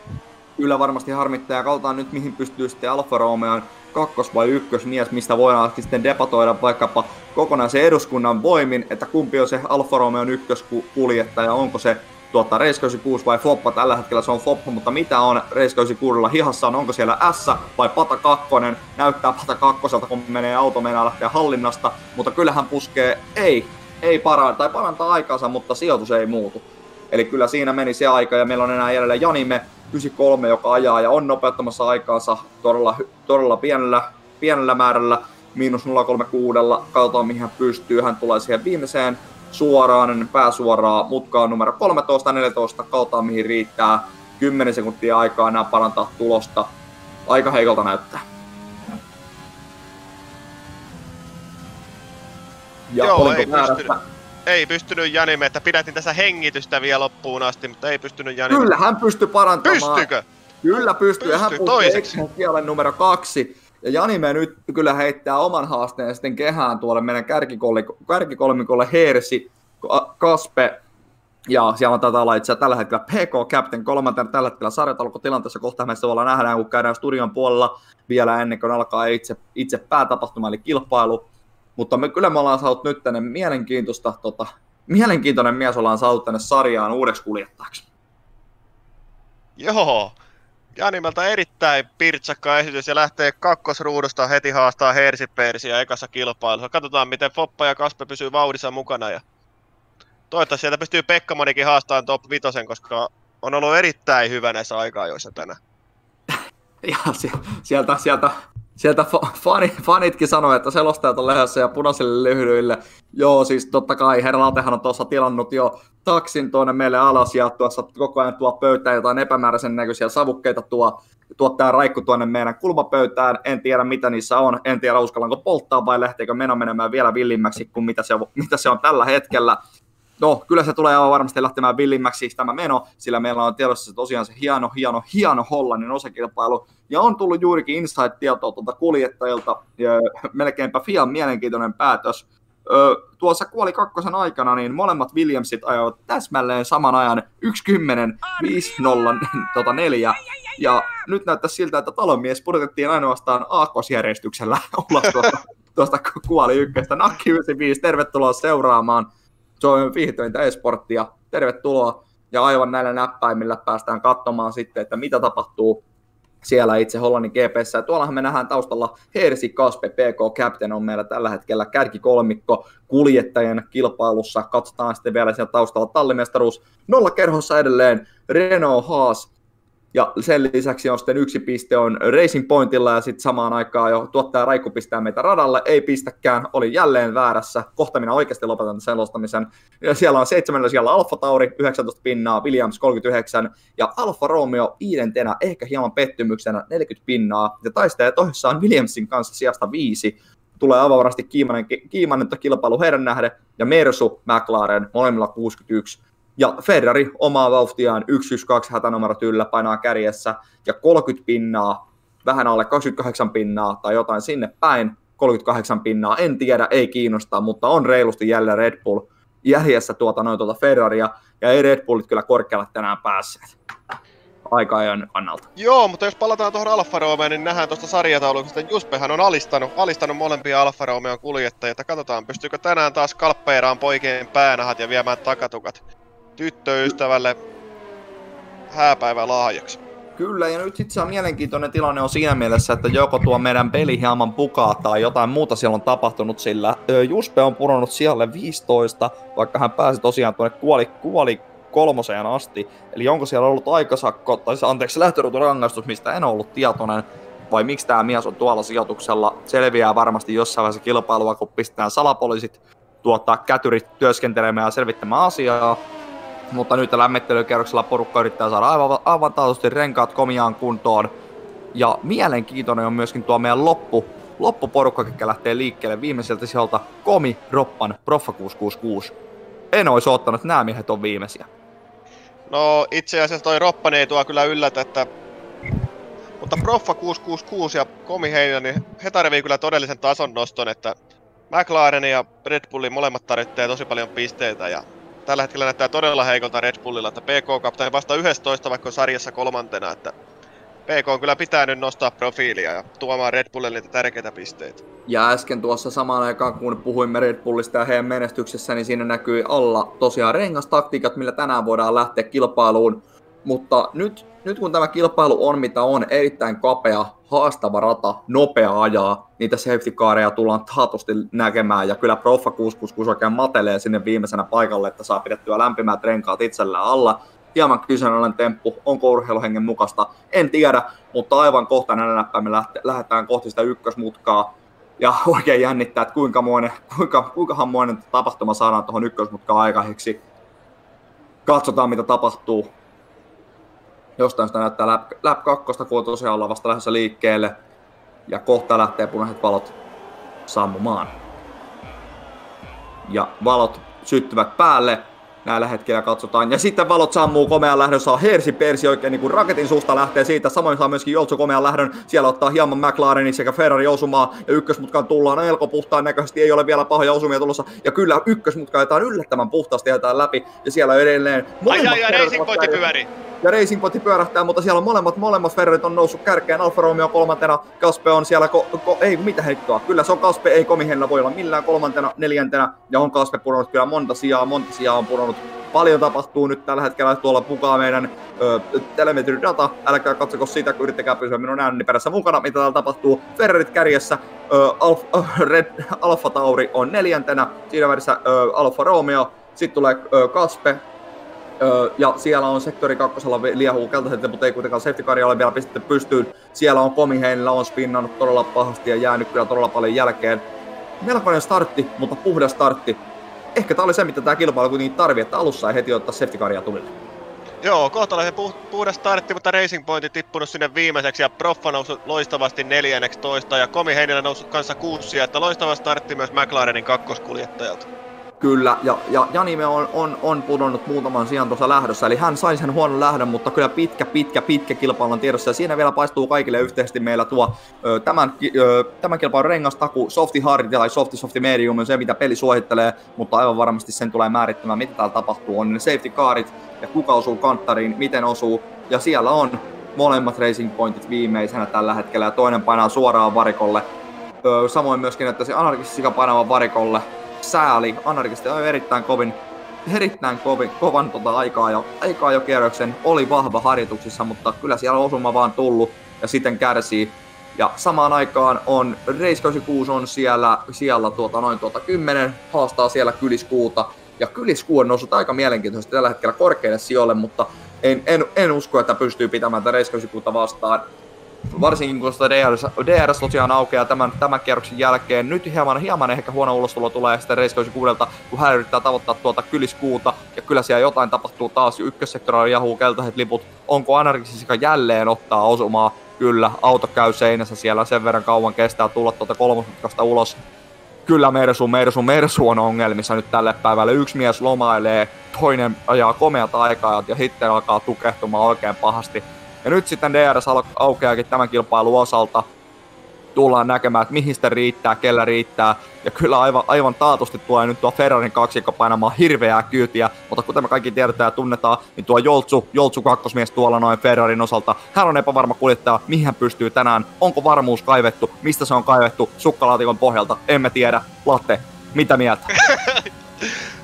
Mokkalatte otetaan, otetaan tästä irti loistavaa Joltsoa ja loistavaa kilpailua ja pystyy pitämään Popa hyvin takana, mutta kyllä muita talleja käy sääliksi, jos Ferrari tästä kaksoisvoiton nappaa. Että toivottavasti pystyy Alfa Romeo, Kaspe, Janime, sun muut kuljettajat, toivottavasti pystyy haastaa, haastamaan Ferrarin tässä kamppailussa, ettei, ettei kaveri karkaa, karkaa ihan tielle tuntemattomille. Kyllä se on juurikin näin, mutta pitää muistaa, että tämä kilpailu on kuitenkin 36 kerrosta pitkä. Me olemme vasta kolmannella kierroksella, aivan, aivan kaikkea voi vielä tapahtua. Ja samaan aikaan Pekkamon lähtee haastamaan tulokaskuljettajaa. Hieman pääsee nyt kyllä paremmalla ulostolla karkuun Janimme 93 sieltä Pekkamonilta. Ja Pekkamon haluaa jakaa tänään niille faneilta boksereita. Ja nyt lähtee Pekkamon sitten painamaan ja yrittää saada sen DRS-edun itselleen. Ja kyllä se sekunnin ero siellä on, takasiipi on auki, ja nyt hän yrittää saada kiinni sitten tuota uutta, uutta tulokaskuljettajaa, mutta kyllä kova työ siinä on Pekkamalla tehtävänä aivan taatusti, ja Anarkisika tulee toista kertaa varikolta, onko hänet jopa kerran kierroksella ohitettu neljän kierroksen aikana, näyttää kyllä todella vahvasti siltä, rangaistukset tällä hetkellä. Matsa 61 on ottanut myöskin kaksi toppia, hän on viiden sekunnin aikaa rangaistus, todennäköisesti on siellä varikkosuoralla jälleen kerran ylinopeutta ajanut, pitäisi miehen oppia kyllä jo tällä hetkellä, tällä hetkellä tässä sarjassa jo ajamaan sitten oikeasti puhtaasti sen varikkosuorat läpi, mutta kyllä on ollut ehkä jopa yllättävän puhdas kilpailu. On, kaverit on keskittynyt todella hyvin, että isommilta kola, kolareilta on vältytty ja kukaan ei ole vielä keskeyttänyt, se on positiivista. Katsotaan saadaanko niitä safety tähän kisaan, niin kuin mä itse ounastelin tuossa kilpailun alussa. Kyllä, ja siellä on aika tiivis pakkaa nyt tuolla nimenomaan. Kärkikarkaa, kyllä todella kovaa vauhtia nyt tuo trio tuolla, kaikki ovat puolen sekunnin, itse asiassa sekunnin siellä toisesta ja Foppa on, on puolen sekunnin päässä, mutta kyllä tuo keskikasti, niin se on todella tiiviisti jo tuolla siellä 3, äh, 6-8, niin todella, todella, todella, todella tiivisti ovat siellä keskenään, mutta Hersi Persikään ei ole nyt kyllä saanut sellaista täydellistä oikein karkumatkaa käyntiin, Joltsu siellä pysyy perässä, samoin Foppa sitten DRS, tuhan siellä on edelleen olemassa, ja kun se halkoo sitä ö, imuapua sitten tuo Hersi Persi sekä Joltsulle että Fopalle, niin kyllä on tekemistä tuota Hersi Persilläkin pitää Joltsu takanaan. Kyllä Joltsu ajaa osaa, ei se kyse siitä ole, mutta epävarmuus, epävarmuus, epäluotettavuus. siinä on se adjektiivi, mitä mä löysin tälle miehelle otsaleimaa, jos sellainen mulla olisi. Kyllä, ja yksi, yksi tekijä, mikä tässä varmasti vaikuttaa, niin Hersipersihän ava, ajaa tällä hetkellä medium-renkailla ja Joltsu ja Foppa roikkuu siinä perässä softi-renkailla. Ja se varmasti vaikuttaa tähän, että Hersipersi ei pääse näillä teknisemmillä alueilla karkuun tältä kaksikolta. Ei varmasti pääse tarpeeksi karkuun ja varmiskaan myöskin suora nopeus on myöskin sitten aivan taatusti parempi sekä tuolla Foppalla että Joltsulla. Ja nyt pääsee Foppa aivan aivan Joltsun perään kiinni ja nyt tulee uusi DRS-alue, saa sitä takaisin auki johon Foppa laittua jälleen ja hy- nyt yrittää kyllä ehkä jopa ohitusta ja tässä vaiheessa ei vielä malttaa, vielä malttaa. Sitten tullaan mutkaan numero 12, 13 sintää jo edessä ja kyllä nämä kolme punasta punasta pirua ajaa kyllä peräkanaa. Ehkä hieman yllättävää kuitenkin pitähin tuot Joltsun tuolla kärjessä oloa mutta tiivistä tapahtumaa on myöskin tuolla keskikastissa. Siirrytään seuraamaan seuraavaksi sinne, mitä siellä tapahtuu. Kyliskuu, Pekkamon taistelu, Janime. Ja nyt Pekkamon lähtee yrittämään ohitusta ja tulee pääsemään ohi. Kyllä Oi, oi, oi, kun näytti siltä hetken aikaa, että Janime sulkee oven Pekkamonta, mutta Pekkamon saa, Pekkamonille tekee tilaa oikeinkin makeasti, ja Pekkamon painaa itsensä siellä kuusi, ja aivan taatusti haluaa tänään, niin tänään saada ne haasteellinen avauspisteet. Teroppani on myöskin siellä 15 tällä hetkellä. Melko siirrettävä tulos. Voisi ehkä hieman nousta kuitenkin sieltä sinne kymppiä kohti. Eikä olisi välttämättä mahdoton paikka. Joo, toivotaan, että Teroppani ottaisi Pingoliikan ensimmäiset pisteet. Että alkaa olla jo kymmenen kisaa varmaan kaverilla plakkarissa, mutta ei vielä yhtään pistettä, että pidetään peukka, että Teroppani tuonne kympin joukkoon änke. Mutta siinä on kyllä kovia kuljettajia edessä, että Juspe siellä 11, PK Kaptaani 12, Proffa 13, Metripe 14, että kyllä siinä on tekemistä, että Ripekin on Proffaa jäljessä 6,5 sekuntia melkein. Kyllä, ja niin kuin ollaan aiemminkin puhuttu, tässä, tässä sarjassa ei nykyään mitään saa enää ilmeiseksi. Jokaisen pisteen eteen on tehtävä töitä, ja katsokaa tuota 7-11 sijoilla olevia taistelua. Herran Jumala, relta ja aivan peräkkäin melkein osuu Kyliksen takasiipi siihen uuteen tulokaskuljettajaan. Race 96 sekä Williamsin talonmies ajalta aivan kaikki siinä lähekkäin. Ja nyt minulla on kyllä tunne siitä, että nyt tulee tapahtumaan jotain isoa. Reiska tuleeko pääsemään Kyliksen ohi vai nyt kyllä on huono, huono ulos tulee Ylikseltä, Reiska on aivan siinä perheessä kiinni, ja nyt lähtee yrittämään ohitusta, joku lähtee varikolle, se on ö, Jani, Jani 93 lähtee varikolle, ja Reiska lähtee yrittämään ohitusta, ja ei pääse ohi, ja Williamsin talonmies sitten sieltä yrittää omalla vauhdilla tulla samassa imussa, hieman näyttävä enemmän pitkästi, mutta ei mene, kolmosutkaan tullaan. Erittäin kovaa vauhtia, katsotaan mitä siinä tapahtuu, hieman osuu kanttariin, ja nyt meinassa lähtee kyllä talonmieheltä auto alta, ja Williams on nyt tällä hetkellä siellä 90 ottamassa niitä pisteitä, ja Reiska on vastannut huutoon, samoin Foppa, he haluaa Williamsista ohi.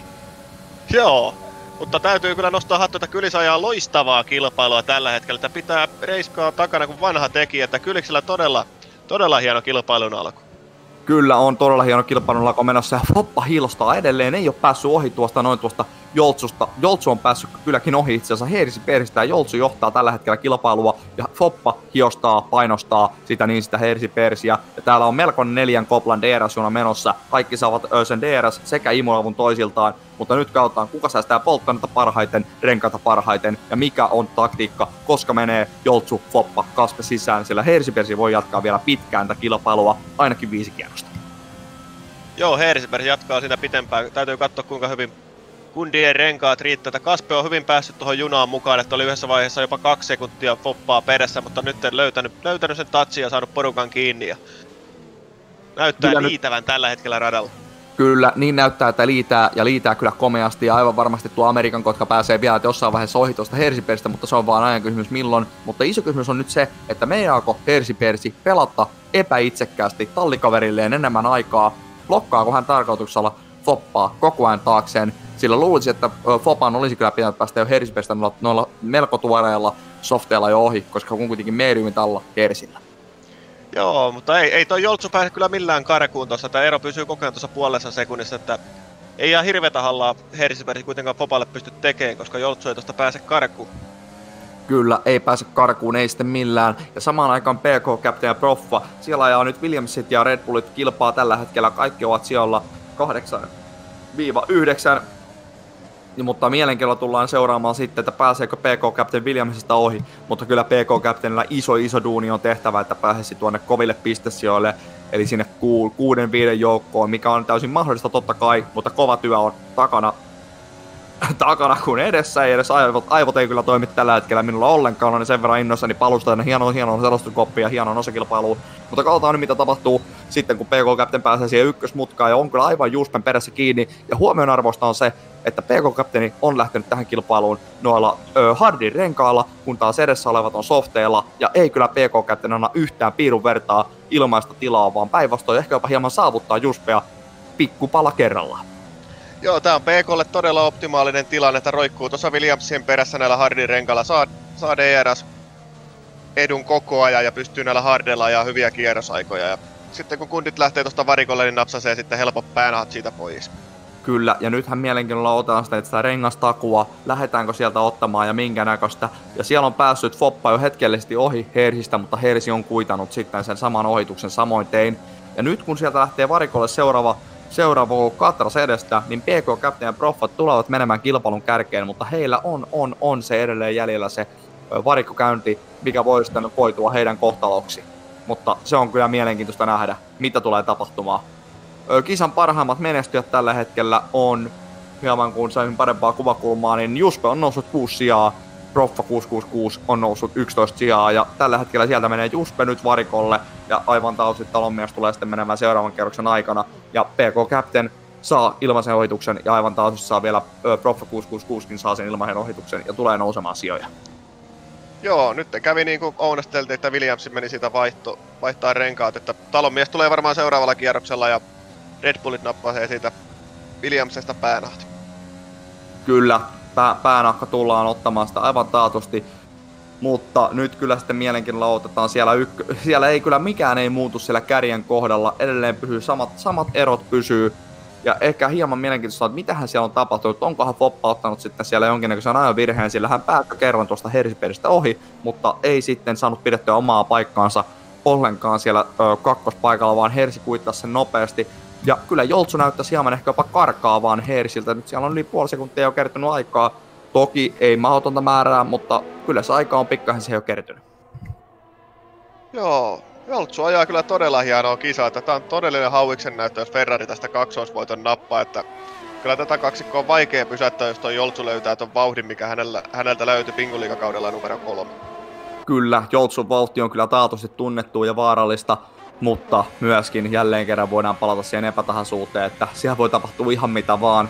Ja pahimmillaan Ferralle mitä voi käydä on tosta, kun Hersipersi pääsee ohitte, Joltsulla yksi virhe, hän vie molemmat hautaan mukanaan, molemmat nuo Ferrarin autot. Mutta puhdas kilpailu ollaan nähty, hyvin vähän varikkokäyntejä, ei safety careja.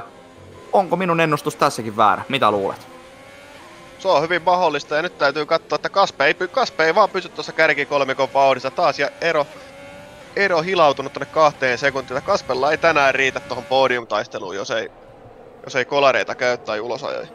Kyllä, ja jotain, jotain nyt kyllä tarvii Kaspe sitten lisää tuohon, sillä hänelläkin on ne softit kuitenkin jopa alla, ja silti jää kaksi sekuntia. Toki edelleen kaikilla on se varikkokäynti siellä edessä, mutta ei se kyllä niin kuin, ei se pelasta tää miestä millään tavalla.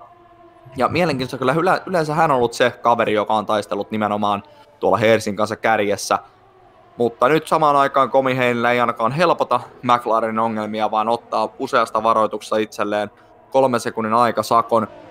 Ja tällä hetkellä PK Captain siellä yhdeksän, katsotaan onko siellä mitään muuta tapahtumasta. Talon mies pääsee reisköysikuudesta ohi, samoin pääsee PK Captain. Ja kyllä siellä nyt tulee lisää niitä varikkokäyntejä. Seuraavaksi Pekkamon on PK Captainin tähtäimessä. Ja aivan taatusti tullaan sitten näkemään, että mi- milloin lähtee Joltsu Heersi varikolle ja mikä on järjestys, mikä on heidän kommunikaatiokyky. Myöskin Joltsun kommunikaatio, kommunikaatiokyvystä on kyllä puhuttu usein, että painaako he molemmat samaan aikaan varikolle, kumpi päästetään ensin varikolle. Sillä on iso merkitys kyllä myöskin kilpailukannalta. Joo, en usko kyllä, että Heerispersi vielä tulee, että Heerispersillä kuitenkin noin mediumit, että ehkä se helpottaa Ferrari keskenäistä kommunikaatiota. Joltsu tulee varmaan käymään varikolla kahden kolmen kierroksen sisällä ja katsotaan se, miten Joltsulla onnistuu toi toisten kuljettajien ohittelu tällä radalla, että tämä on todella kapea, että katsotaan kuinka monta sekuntia sieltä uhraantuu sitten, kun Joltsu lähtee yrittämään ohituksia. Kyllä, aivan varmasti. Ja samaan aikaan Pekkamon hiilostaa Stevandowskia, kun viimeistä päivää 11, vanhat, ö, 11 kierrosta vanhat softit molemmilla alla. Vieläkö lähtevät ajamaan kierrosta? Ei, Stevandowski painaa varikolle ja Pekkamon yrittää ottaa sitten nopean kierroksen alle pohjille, että pyhäisi sitten tykittämään sen nopean kierroksen. Samaan aikaan Joltsu on mennyt myöskin varikolle, eli Hersi johtaa uudelleen kilpailua, Foppa painaa edelleen perässä ja nyt tullaan näkemään kumman ratkaisu on parempi. Olisiko Foppa ottaa samaan aikaan varikkoja nyt vai tekeekö hän oikean ratkaisun? Ja nyt näyttää Pekkamonen aiheelma siltä, että renkaat ovat aivan taatusti melko vähän liialla kuuluu, että herranen aika, herranen aika. Ja hän saa pelastettua juuri ja juuri tuon Haasin kalliin kalliin auton, mihin on pistetty monta monta markkaa rahaa. Mutta kylläpä kävi lähellä nyt kyllä Haasilla Pekkamonin piste, pisteunelman murtuminen. Joo, Pekkamoni, siinä alkaa olla kuluneet renkaat, että ei ole enää pito, että toivottavasti Pekkamoni nyt tajuaa tulla tällä kierroksella varikolle hakea ne haarit tuohon kisan loppuun ja nähdään Pekkamoni tuo top 10. Kyllä, ja aivan varmasti hän ottaa ne harrit alle. Kyllä, kyllä outona pitäisi, että hän lähtisi yrittämään, varsinkin nyt kun Joltsukin takaa sekä kaikki muut siellä takaa on käytännössä harrit alleen ottaneet. Hö, mutta kyllä nyt joutuu varmasti ajamaan, ja se on se anteeksi, 23 kierrosta, mitä nämä pitää tykittää menemään niillä tuota hardeilla. Kyllä he pitkä matka on, ja samaan aikaan Janime yrittää saada talonmiestä päänahkaan, mutta talonmies ei anna sitä helpolla. Hänellä on tuoreimmat, tuoreimmat hardirenkaat alla. Ja Janime on joutunut käyttämään hieman, hieman aikaisin joutunut käyttämään varikolla ja hän on viisi kiekkaa vanhat so, ö, hardit alla, riittääkö ne loppuun asti, niin sitä tullaan aivan taatusti varmasti teille faneille kertomaan ja raportoimaan, mitä noille renkaille oikein tulee tapahtumaan. Kestääkö, kestääkö, kestääkö on se päivän kysymys. Ja se tulee määrittämään sitten sen, että mikä on Janimen ja Renault menestys tässä kilpailussa. Mutta samaan aikaan se on kyllä kyliskin edelleen. Neli, ö, hän on kyllä vielä mukana tässä kilpailussa. Ja samaan aikaan Joltsu ö, ohittaa Fopan, Foppa menee varikolle ja Hersi Persi jatkaa vieläkin noilla medium renkailla. Ja samaan aikaan Janime ottaa sen ohituksen talonmiehestä. Komea komia ohitus DRS, DRS avulla. Ja sitten mennäänkin jo kohti seuraavaa haastetta, eli siellä on Juspe Loa ja Juspe on molemmat nimi melkein kaimat, voisi sanoa, niin on siellä edessä. Ja kyllä hekin ajaa kovaa vauhtia ja ei kyllä halua päättää uutta tulokausta ohi. Ovathan kuitenkin veteraanikuljettajia. Joo, Juspelolla siellä 13 kierrosta ajetut mediumit pystyy ehkä jotenkuten vielä taistelemaan tota Janimea vastaan, mutta Janime tulee kyllä sen verran kovempaa vauhtia, että katsotaan mitä Juspe pystyy pitämään takana.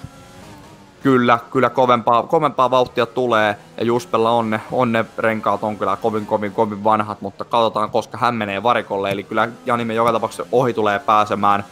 Ja samaan aikaan Pekka Mon on käynyt myöskin siellä varikolla tosiaan, ja hän on siellä seitsemän, eli kyllä hän pitää sitä unelmastaan kiinni. Ja Proffa 666 on siinä hänen takanaan, 13 kekkaa vanhat harit alla, niillä ei loppuun asti mennä, ei tarvitse yhtään pitstoppiakaan alla olla. Eli Proffa tulee putoamaan kyllä jonkin verran sijoja, ja samoin PK Captain, mutta kuinka paljon, se on se kysymys tälle päivälle. Joo, ja Hersi Persi, just kattelen tota eroa, Hersi Persin ero joltsuu 15 sekuntia itse en muista, kun ei tainnut tässä kisassa varikolla käydä, että kauan varikko kestää tässä Hollannin GPssä. Katsotaan, Usko... pääseekö Hersipersi tuolta vielä punkeen tuohon Joltsu ja Popan väliin. Uskal, uskallan kyllä väittää, että se kestää enemmän kuin 15 sekuntia se varikko pysähdys. Eli nyt on Joltsu ja Popalla molemmilla erinomaiset mahdollisuudet pysyä siinä tota, tai päästä Hersipeesiin edelle. Saataisiin oikein mielenkiintoinen trio tuonne kärkeen taistelemaan mitä ei ehkä ollakaan tällä kaudella, eikä ihan hetkeä ollakaan nähty tuolta taistelemassa.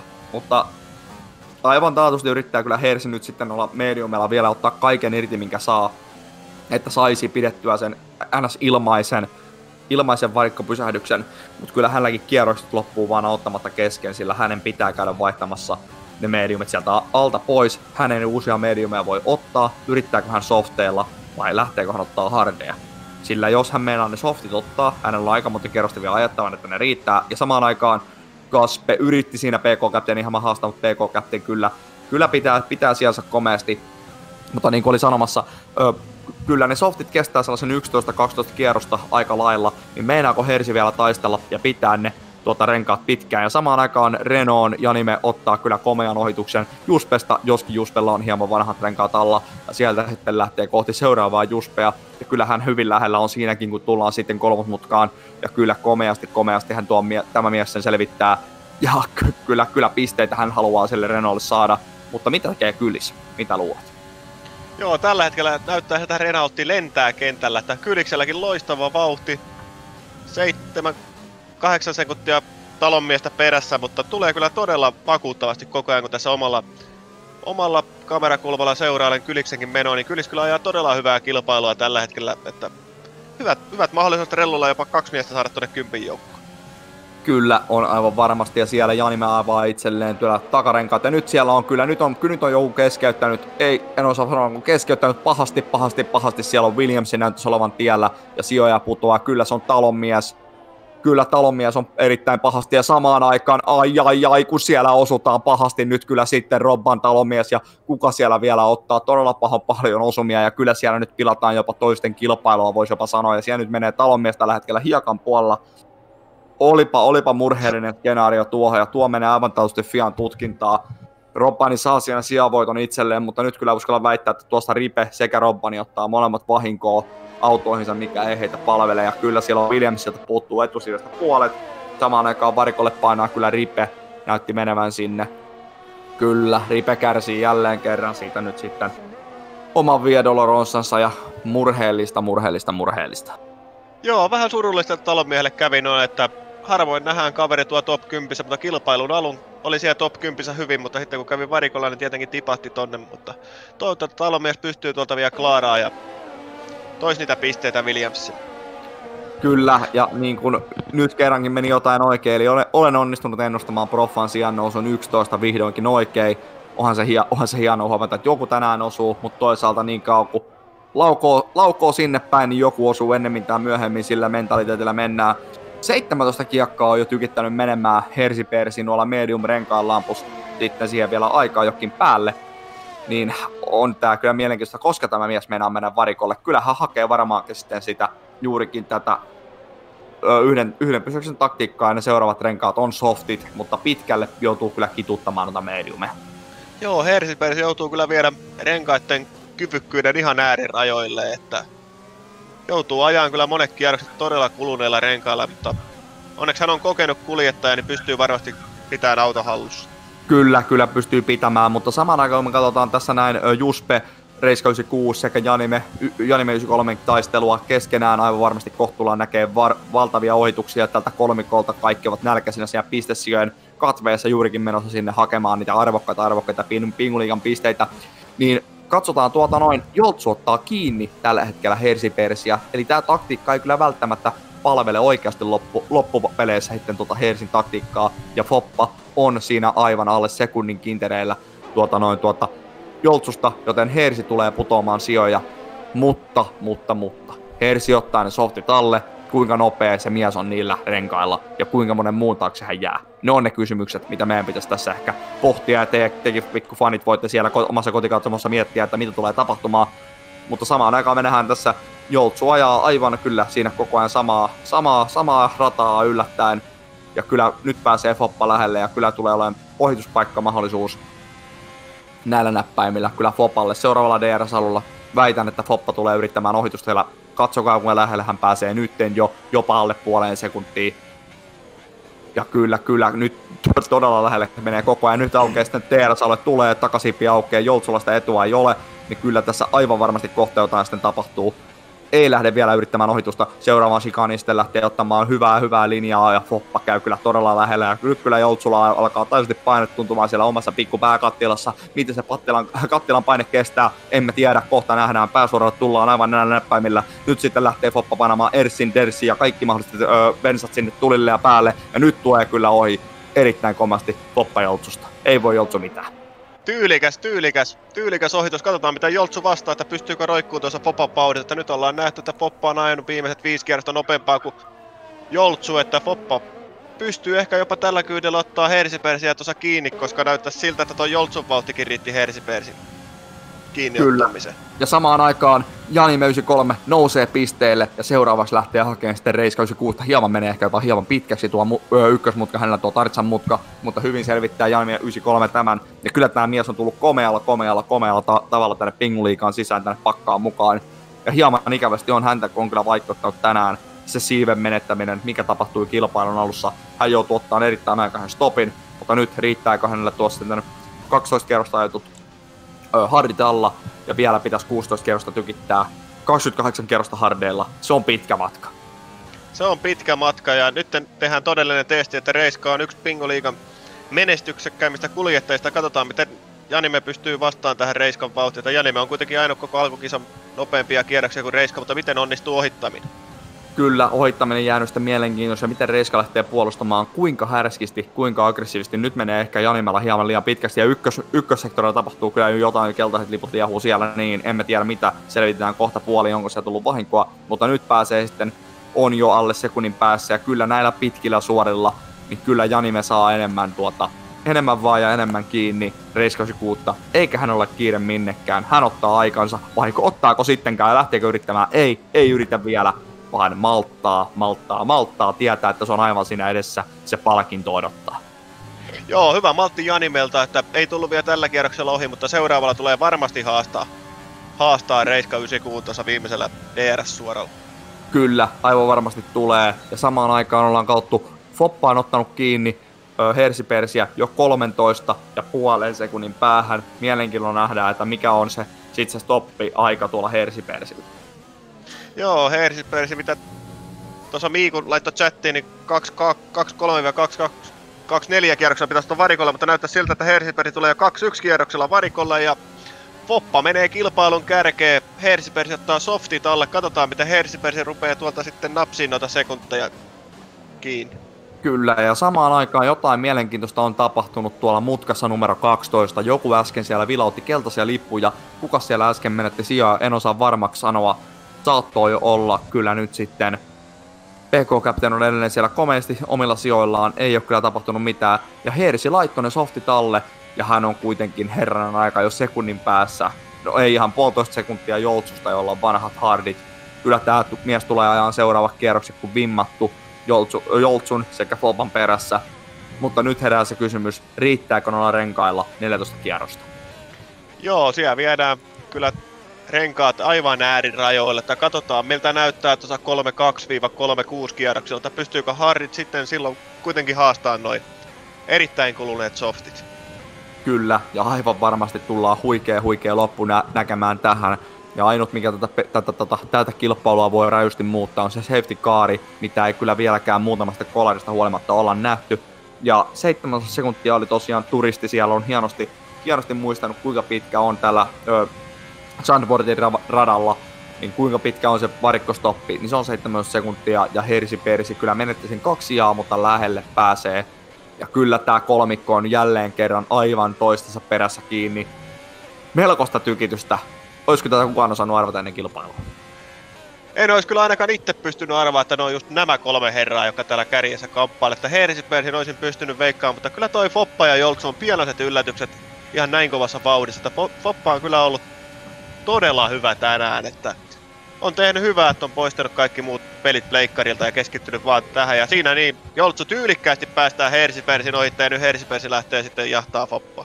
Kyllä lähtee ja on kyllä kova vauhti on täällä Hersipersillä. Herranen aikaiset oikeasti niin kuin aiemmin sanoi, ja kun riivattu tämä mies. Siinä oli aivan varmasti jonkin verran myöskin taalitaktiikkaa tuolta noin tuolta Joltsun suunnalta, että päästään se nopeampi kuljettaja ohi hyvässä kohtaa. Ja nyt sitten on jo, on jo aivan, aivan kiinni siinä Fopassa tuo Hersipers ja kyllä iso työ, ei, en, en kyllä usko, en näe mitään skenaariota hän pystyisi pitämään. Foppa tuon tuota Hersin takana, siellä todennäköisesti nyt jo pääsuorana tulee ohi näillä tuoreilla, nopeilla softin renkailla. Ja nyt kyllä. sitten nähdään, että miten se käy. DRS-siipi on jo auki, nopeamman kierroksen tykittää. Ja ei, ei Hersi vielä kokonainen kuljettajana tietää, että se paikka on tulossa, niin ei hän lähde vielä yrittämään. Hän ottaa sen varman ohituksen sitten, kun se paikka hänelle aukeaa. Kyllä, juuri näin. Ja tässä off-topicina Pekkamoni siellä kuusi tällä hetkellä ei tule varmasti käymään enää tämän kisan aikana varikolle, että tänään pistetään erittäin suurella todennäköisellä Pekkamon bokserit jakoon, joten kaikki fanit siellä kirjoittakaa hashtag Pekkamonen, niin olette arvonnassa mukana. Kyllä, sieltä erittäin hienot Pekkamon bokserit pistää jakoon. Ne on parasta, mitä bokserit voi miehelle tarjota, tai mitä hän tuo tarkoittikaan tuo lause. Mutta hyvät bokserit on, ei muuta kuin hashtag Pekkamonia sinne, niin olette arvonnassa mukana, kuka voittaakaan ö, sitten ikinä Pekkamon bokserit itselleen.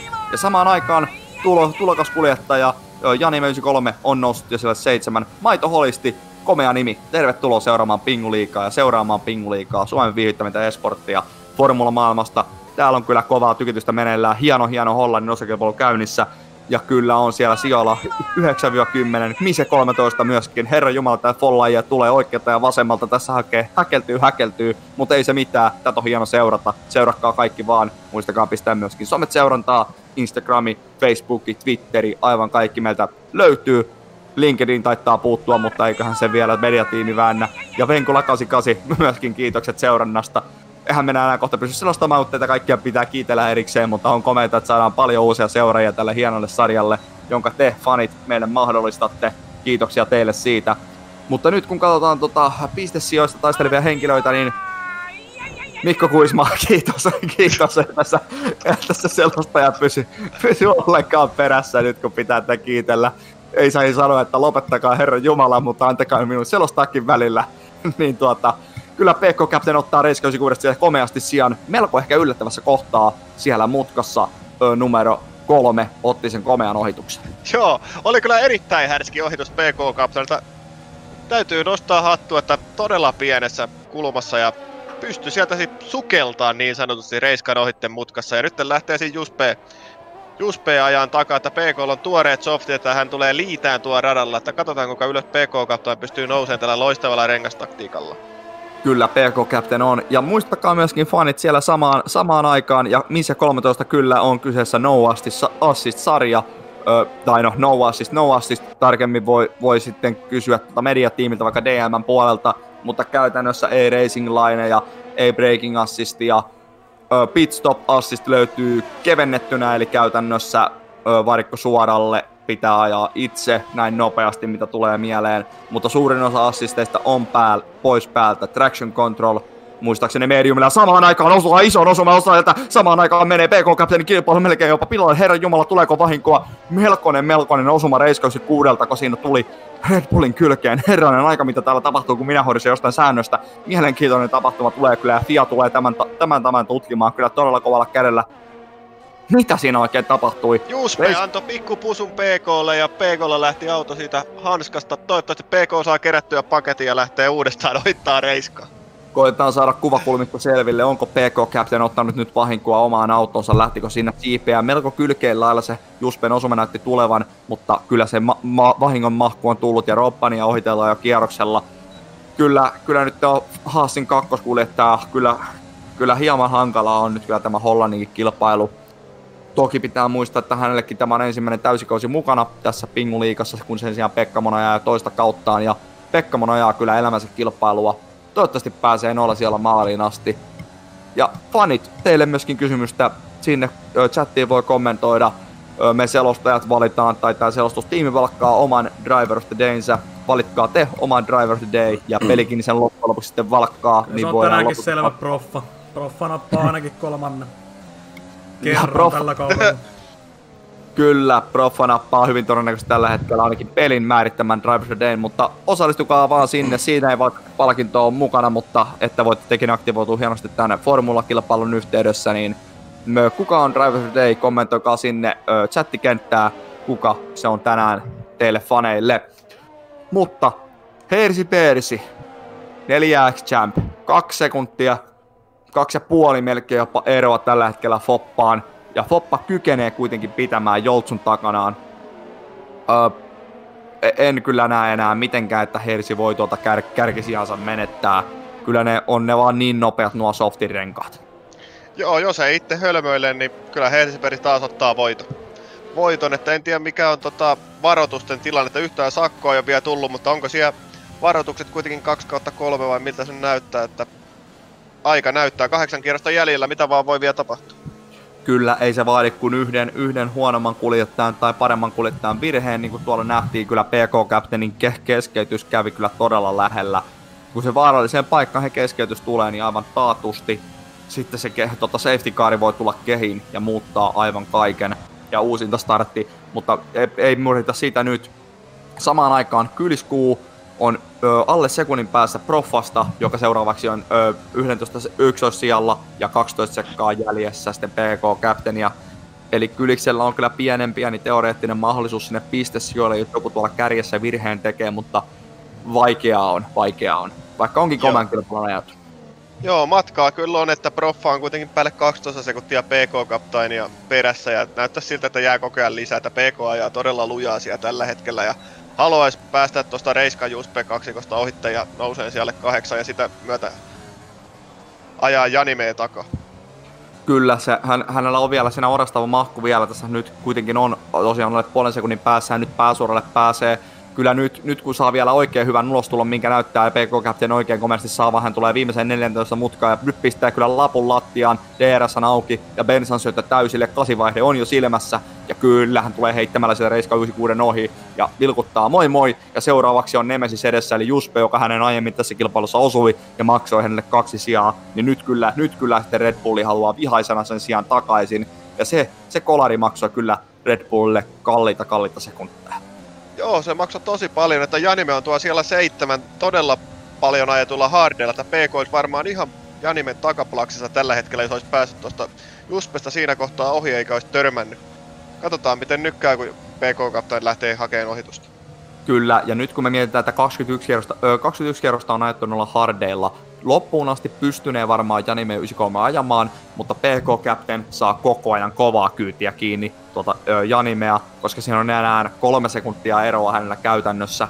Niin aivan taatuisessaan niin viimeiselle kierrokselle saadaan kyllä melkoinen meihemi aikaiseksi. Ja samaan aikaan sektori ykkösellä liehuu keltaiset liput, näyttää olevan, että anarkistika jälleen kerran sinne aiheuttaa jonkinnäköistä häsmäkkää. Ei ollut kyllä Mersun päivä tänään. Joo, ei ollut Mersun päivä tänään, että anarkistisika siellä 18 ja Miiku on pois kilpailusta. Todella, todella laiha lohtu tänään Mersulle, että molemmat kuljettajat pois top 10, että Ja pahalta samana, näyttää. Ja samaan aikaan, kun tässä, tässä sitä pohditaan sitä Mersun tilannetta, ja kyllä siellä Mersu on jo radan ulkopuolella todella rajusti, ja nyt saattaa se keskeyttäminen nähdä, toivottavasti ei tule turhautumiskeskeytymistä sitten tuolta anarkisisen puolelta. Kyllä on aivan, aivan kiinni Juspen, Juspen pepussa sitten tuo PK Captain, kyllä nälkäisesti lähtee yrittämään ohi, mutta nyt se, että onko hänellä malttia siihen ohitukseen, varmaan kohtaa vaan lähtee ottamaan samanlaista härskiä ohitusta kuin Race 96 aiemmin tällä tässä kilpailun aikana, mikä oli kyllä komea ohitus, mutta siinä on aina omat riskinsä ja se osuma riski varmasti kummittelee takaraivossa, kun tuo sama mies, joka tuossa edessä ajaa, hän hänet tänään aiemmin kolasi, niin nyt nähdään mitä PK Captain tekee. Koko ajan ero on aivan aivan hiiren hiiren, hiiren, hiiren pienen kokoinen, mutta katsotaan mitä tekee ja kyllähän näyttää siltä, että pääsuoralla PK Captain sen ohituksen ottaa. Joo, toivottavasti Red Bullin kisainsinöörit kertoo tietoa, että Janime on vaan kahden ja puolen sekunnin päässä Juspesta. Että nyt pitäisi päästä todella, todella nopeasti tästä Williams-kuljettajasta ohi, että pystyisi vielä Janimeenkin haastamaan tässä viimeisellä viidellä kierroksella. Se tarkoittaa sitä, että nyt kun vertaan tuon kahden ja puolen sekunnin eroa, niin pitäisi ajaa käytännössä noin puoli sekuntia nopeampaa kierrosta nyt loppukierroksen loppukilpailun ajan. Ja nyt siinä sitten menee aivan rintarina menee Williams ja Red Bulli, ja kyllä komeasti, komeasti pieni konteksti siellä tulee, ja kyllä siellä käy Juspe käy, kyllä oliko pieni kosto jopa siinä tiedossa, en tiedä, mutta siinä siellä kävi Juspe hieman hiekan puolella, mutta kummallekaan ei se pahemmin käy, pahinkoa ei tule. Ykkössektorin loppupäässä on keltaiset liput liehuu. Siellä, on jotain tapahtumassa, siellä on jälleen kerran pöly lentää, kuka siellä on edessä, olisiko siellä Williamsit mallia toinen, joka ohitetaan kierroksella, kyllä näyttää siltä, ja se aiheuttaa siellä sitä keltaista liikkua koko ajan. Ja matsa 6-1, 5 sekkaa penaltia, speeding on the pit lane, ja, ja sama mies, sama sakko. Sama mies joka kerta. Oi voi voi. Onko Kyllä, jopa turhautumista, koska siellä, vasta siellä 17 tämä Racing Pointin kuljettaja, joka on kuitenkin nauttinut jo kertaalleen Pinguliikan tallimestaruudesta.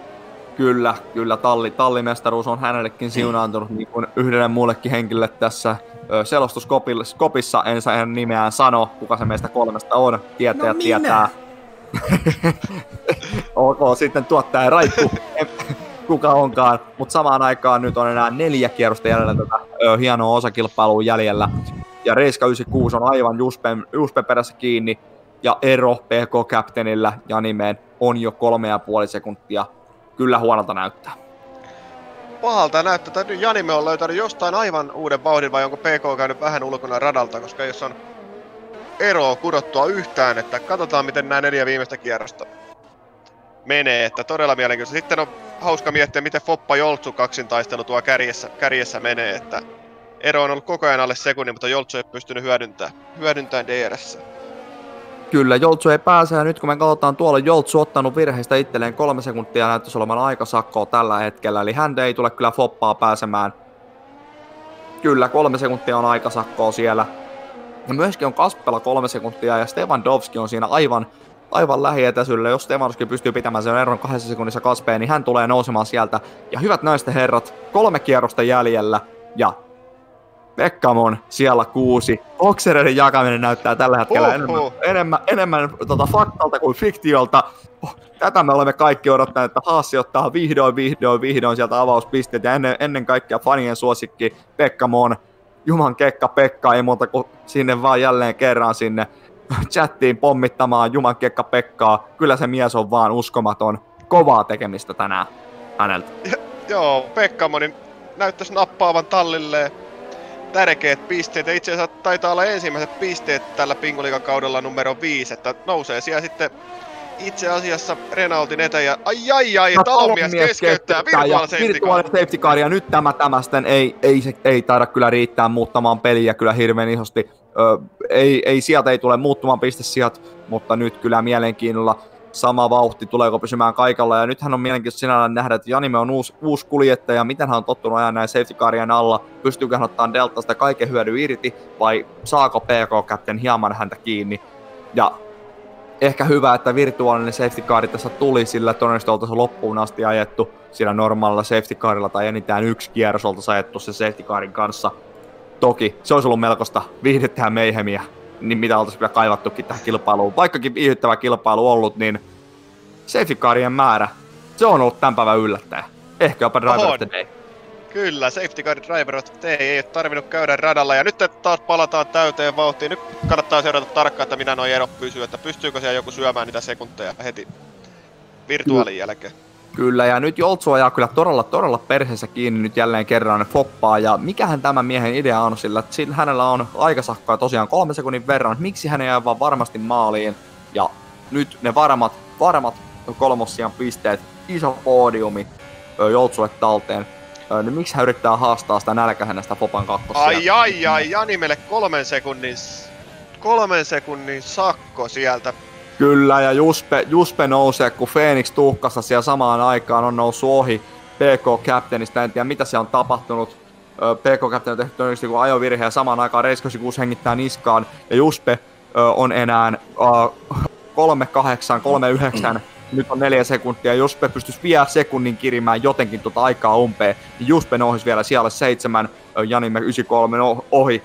Mutta kyllä tällä hetkellä näyttää melko sementtiin jauhetulta nämä kaikki tai anteeksi, valetulta eikä jauhetulta jauhettua jossain tehdään jossain aivan muualla, vaan valetaan sinne sementtiin näitä sijoja, niin kyllä aika, aika faktuaaliselta näyttää tällä hetken sijat kaikille.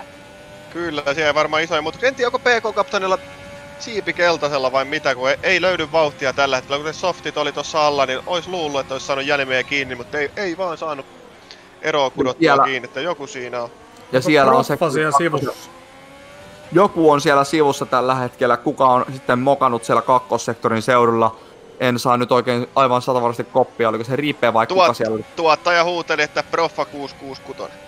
Proffa 666. Ja kyllä Proffa on vaan pudonnut sieltä hyviltä pistesijoilta sinne siellä 13. Kyllä hän on hyvin ajanut, viisi sijaa on noussut edelleen sitten loppulähtösijoituksestaan, mutta kyllä hieman piippuun jäi sitten kuitenkin loppupeleissä. Joo, ei ole kyllä Red Bullin päivä tänään ollut, PK Kaptain 9 tuo kaksi pistettä tallille. Kun taas sitten Ferrari ottaa hirveän pistepotin. Ja Alfa Romeoltakin ihan hyvä päivä, että Poppa 2, Reiska tuo sen yhden pisteen, sitten Alfa Romeokin ihan hyvät pisteet sieltä. Ja Proffa 666 keskeyttää kilpailun. Onko siellä tullut nyt sitten, missä mutkassa se virhe on tapahtunut? Ja onko ollut turhautuminen vai onko peräti, on tainnut tulla varikko keskeytyys nyt kyllä Proffa 666 näyttäisi nopeasti katsottuna siltä. Missään muualla ei mennä näy auton raatoa. Mutta ei sille voi mitään. Nyt mennään viimeistä kierrosta, mennään tätä Pinguliigan ö, Hollannin osakilpailua. Race 96, PK Captain, Juspe ovat kaikki aivan lähekkäin. Nyt nähdään sitten, tuleeko mitään muutoksia. Ja Kylis on perustanut uuden ryhmän. Todella hienoa kuulla. Minua ei oikeastaan kiinnosta, ei myöskään Ville Uiton ryhmät. Ville Uitto, voitko painoa minun striimistäni Vex, jos olisi oikein mukava. Kiitos, hyvin tehty. Siellä seurataan nyt sitä Pinguliikan viimeisiä, viimeisiä, viimeisiä metrejä. Tätä on Hollannin, Hollannin osakilpailua. Sitten Hersipesi johtaa, Foppa Joltsu kolmantena. Kärkikolmikon sieltä ei todennäköisesti muuttumaan, sillä Foppa ö, on on edellä riittävästi Joltsu ja Joltsulla aikasakko, samoin Kaspella on aikasakko, ja Stefanovski on tällä hetkellä nousemassa, siellä oli neljä Fo- Kaspen aikasakon vuoksi, sektori kolmosella liehuu keltaiset liput, ja Hersipesi voittaa tämän osakilpailun, Foppa pääsee ohi, Joltsu pääsi ohi Foppasta, mutta Foppa voittaa kuitenkin aikasakoilla Joltsun, ja katsotaan miten käy, Kaspe on neljäs, mutta riittääkö Stefanovski, Stefanovski tulee, ja Stefanovski tulee neljänneksi, ja Pekkamon, Pekkamon, tuleeko pisteelle? Pekka, Pekka! kotona? Pekka, ja Pekkamon ottaa kuudennen sijaan. Uskotteko kotona? Ja samaan aikaan Jani 93 tulee myöskin näillä hetkellä meillä maaliin. Ja sijat eivät tule muuttumaan. Hyvät naiset ja herrat, Janime tulokaskilpailussa siellä numero seitsemän. Erittäin vaikean siipirikon jälkeen. Komea, komea suoritus. PK Captain Reiska. Ja siinä näkyykin lopulliset tulokset. Ja en tiedä kenen McLaren siellä on keskellä ja mitä on tapahtunut. Komihenellä taas käynyt hieman ajamassa seinää päin. Mutta melkoinen kilpailu oli. Hollanti ei safety caria. Foppa kakkosena, Pekkamon pisteellä, tulokaskuljettaja seiskana. Melkoinen päivä. Uhu, oli kyllä mielenkiintoinen kilpailu, että erittäin vaiherikas. Sijat vaihteli todella useasti ja nyt nähdään kyllä ihan uusia miehiä tuo top 10, että Pekkamon, Janime. Suurimmat yllätykset, Stevandowski hyvä neljäs sija. Sitten Kyllä. ehkä PK Kaptain vasta yhdeksäs, Reiska vasta kymmenes. Katsotaan mitä Reiska 10, kuka on Drive of the Day pelin mukaan ja me voitaisiin valkata sen jälkeen Juspe Driver of the Day, mutta minä ehkä sanoisin, että tämän päivän Driver of the Day, se on Juman kekka, se on Pekka. Kyllä se on Pekkamoni, että kauan odotettu pisteet tuli sieltä, että Pekkamoni klaarissa pistetään tämän studion jälkeen bokserit jakoon, että meidän Pingu Niilo Arpakone arpoo sieltä bokserit yhdelle fanille, joka on kirjoittanut hashtag Pekkamoni ja huomenna varmaan tai yli huomenna kysyt- kysellään sitten osoitetta ja laitetaan bokserit liikkeelle. Juurikin näin, ja katsotaan sitten siellä, ketä saadaan haastatteluun, ja ö, koitetaan saada haastatteluun tulokas kuljettaja Janime 93. Katsotaan, saatiinko haastatteluun joku tänne meidän selostuskoppiin juuri ramppasi päätään, vielä ehtinyt kääntämään, että kuka siellä oikein on. Kurkataan kuka tänne selostuskoppiin paukkaihin Hersi sisään. Persi Foppa ja Joltsu löytyy, löytyy haastattelusta. No Top meillähän on kolmonen. Meillähän on top kolmonen, sitten mennään sillä. Tervetuloa, aloitetaan järjestyksessä Hersi, Foppa, Joltsu. Tervetuloa Hersi Persi, onnittelut jälleen voitosta. Kiitos, kiitos. Melkoinen kilpailu takana. Haluatko hieman avata? Oli puhdas kilpailu, safety caria täällä odotettiin kuuta nousevaa, ei tullut koskaan, mutta se mitä täällä pohdittiin oli sun rengastaktiikka. Lähdekö vähän avaamaan sitä? Joo, no pääsin Q2 jatkoon mediumeilla ja aiemmin sain se korvanappiin tiedon Ferrarin tallipäälliköltä, että ne softit kyllä kestää aika monta kierrosta, jos vaan osaa vähän kuluneemmilla siinä ajella, niin huomasin sitten jossain kohdassa kisa, olisiko ollut joku 15 tai jotain, niin totesin siinä, että lähdetään koittamaan vähän erilaista taktiikkaa, että ajetaan ihan loppuun mediumit ja sitten pistetään loppuun vielä softit alle, niin hyvinhän niillä kulki. Ja siinä mä sitten sitä ennen yritin tehdä mahdollisimman paljon sellaista kiusaa Fopalle, että Joltsu pääsisi kakkoseksi, mutta ei aivan riittänyt. Kyllä, ja sitähän me täällä pohdittiinko jo selostuskopissa asiantuntijan voimin, että tehtiinkö siellä hiekotusta, mutta kyllä oli komeaa, komeaa ajamista. Ö, mikä, mikä oli nyt sitten tämä voiton avain? Oliko se tämä rengastaktiikka? No, se voi olla rengastaktiikka tai miehen kova vauhti. Päättäkää te. No, jätetään se päätös fanien tekeväksi. Ö, herra Late, sinun vuoro, ole hyvä. Kiitoksia, kiitoksia Ferrarilta taas loistava kilpailu. Sä voitit, Joltsu oli kolmas. Mikä oli teidän päivän sana tänään?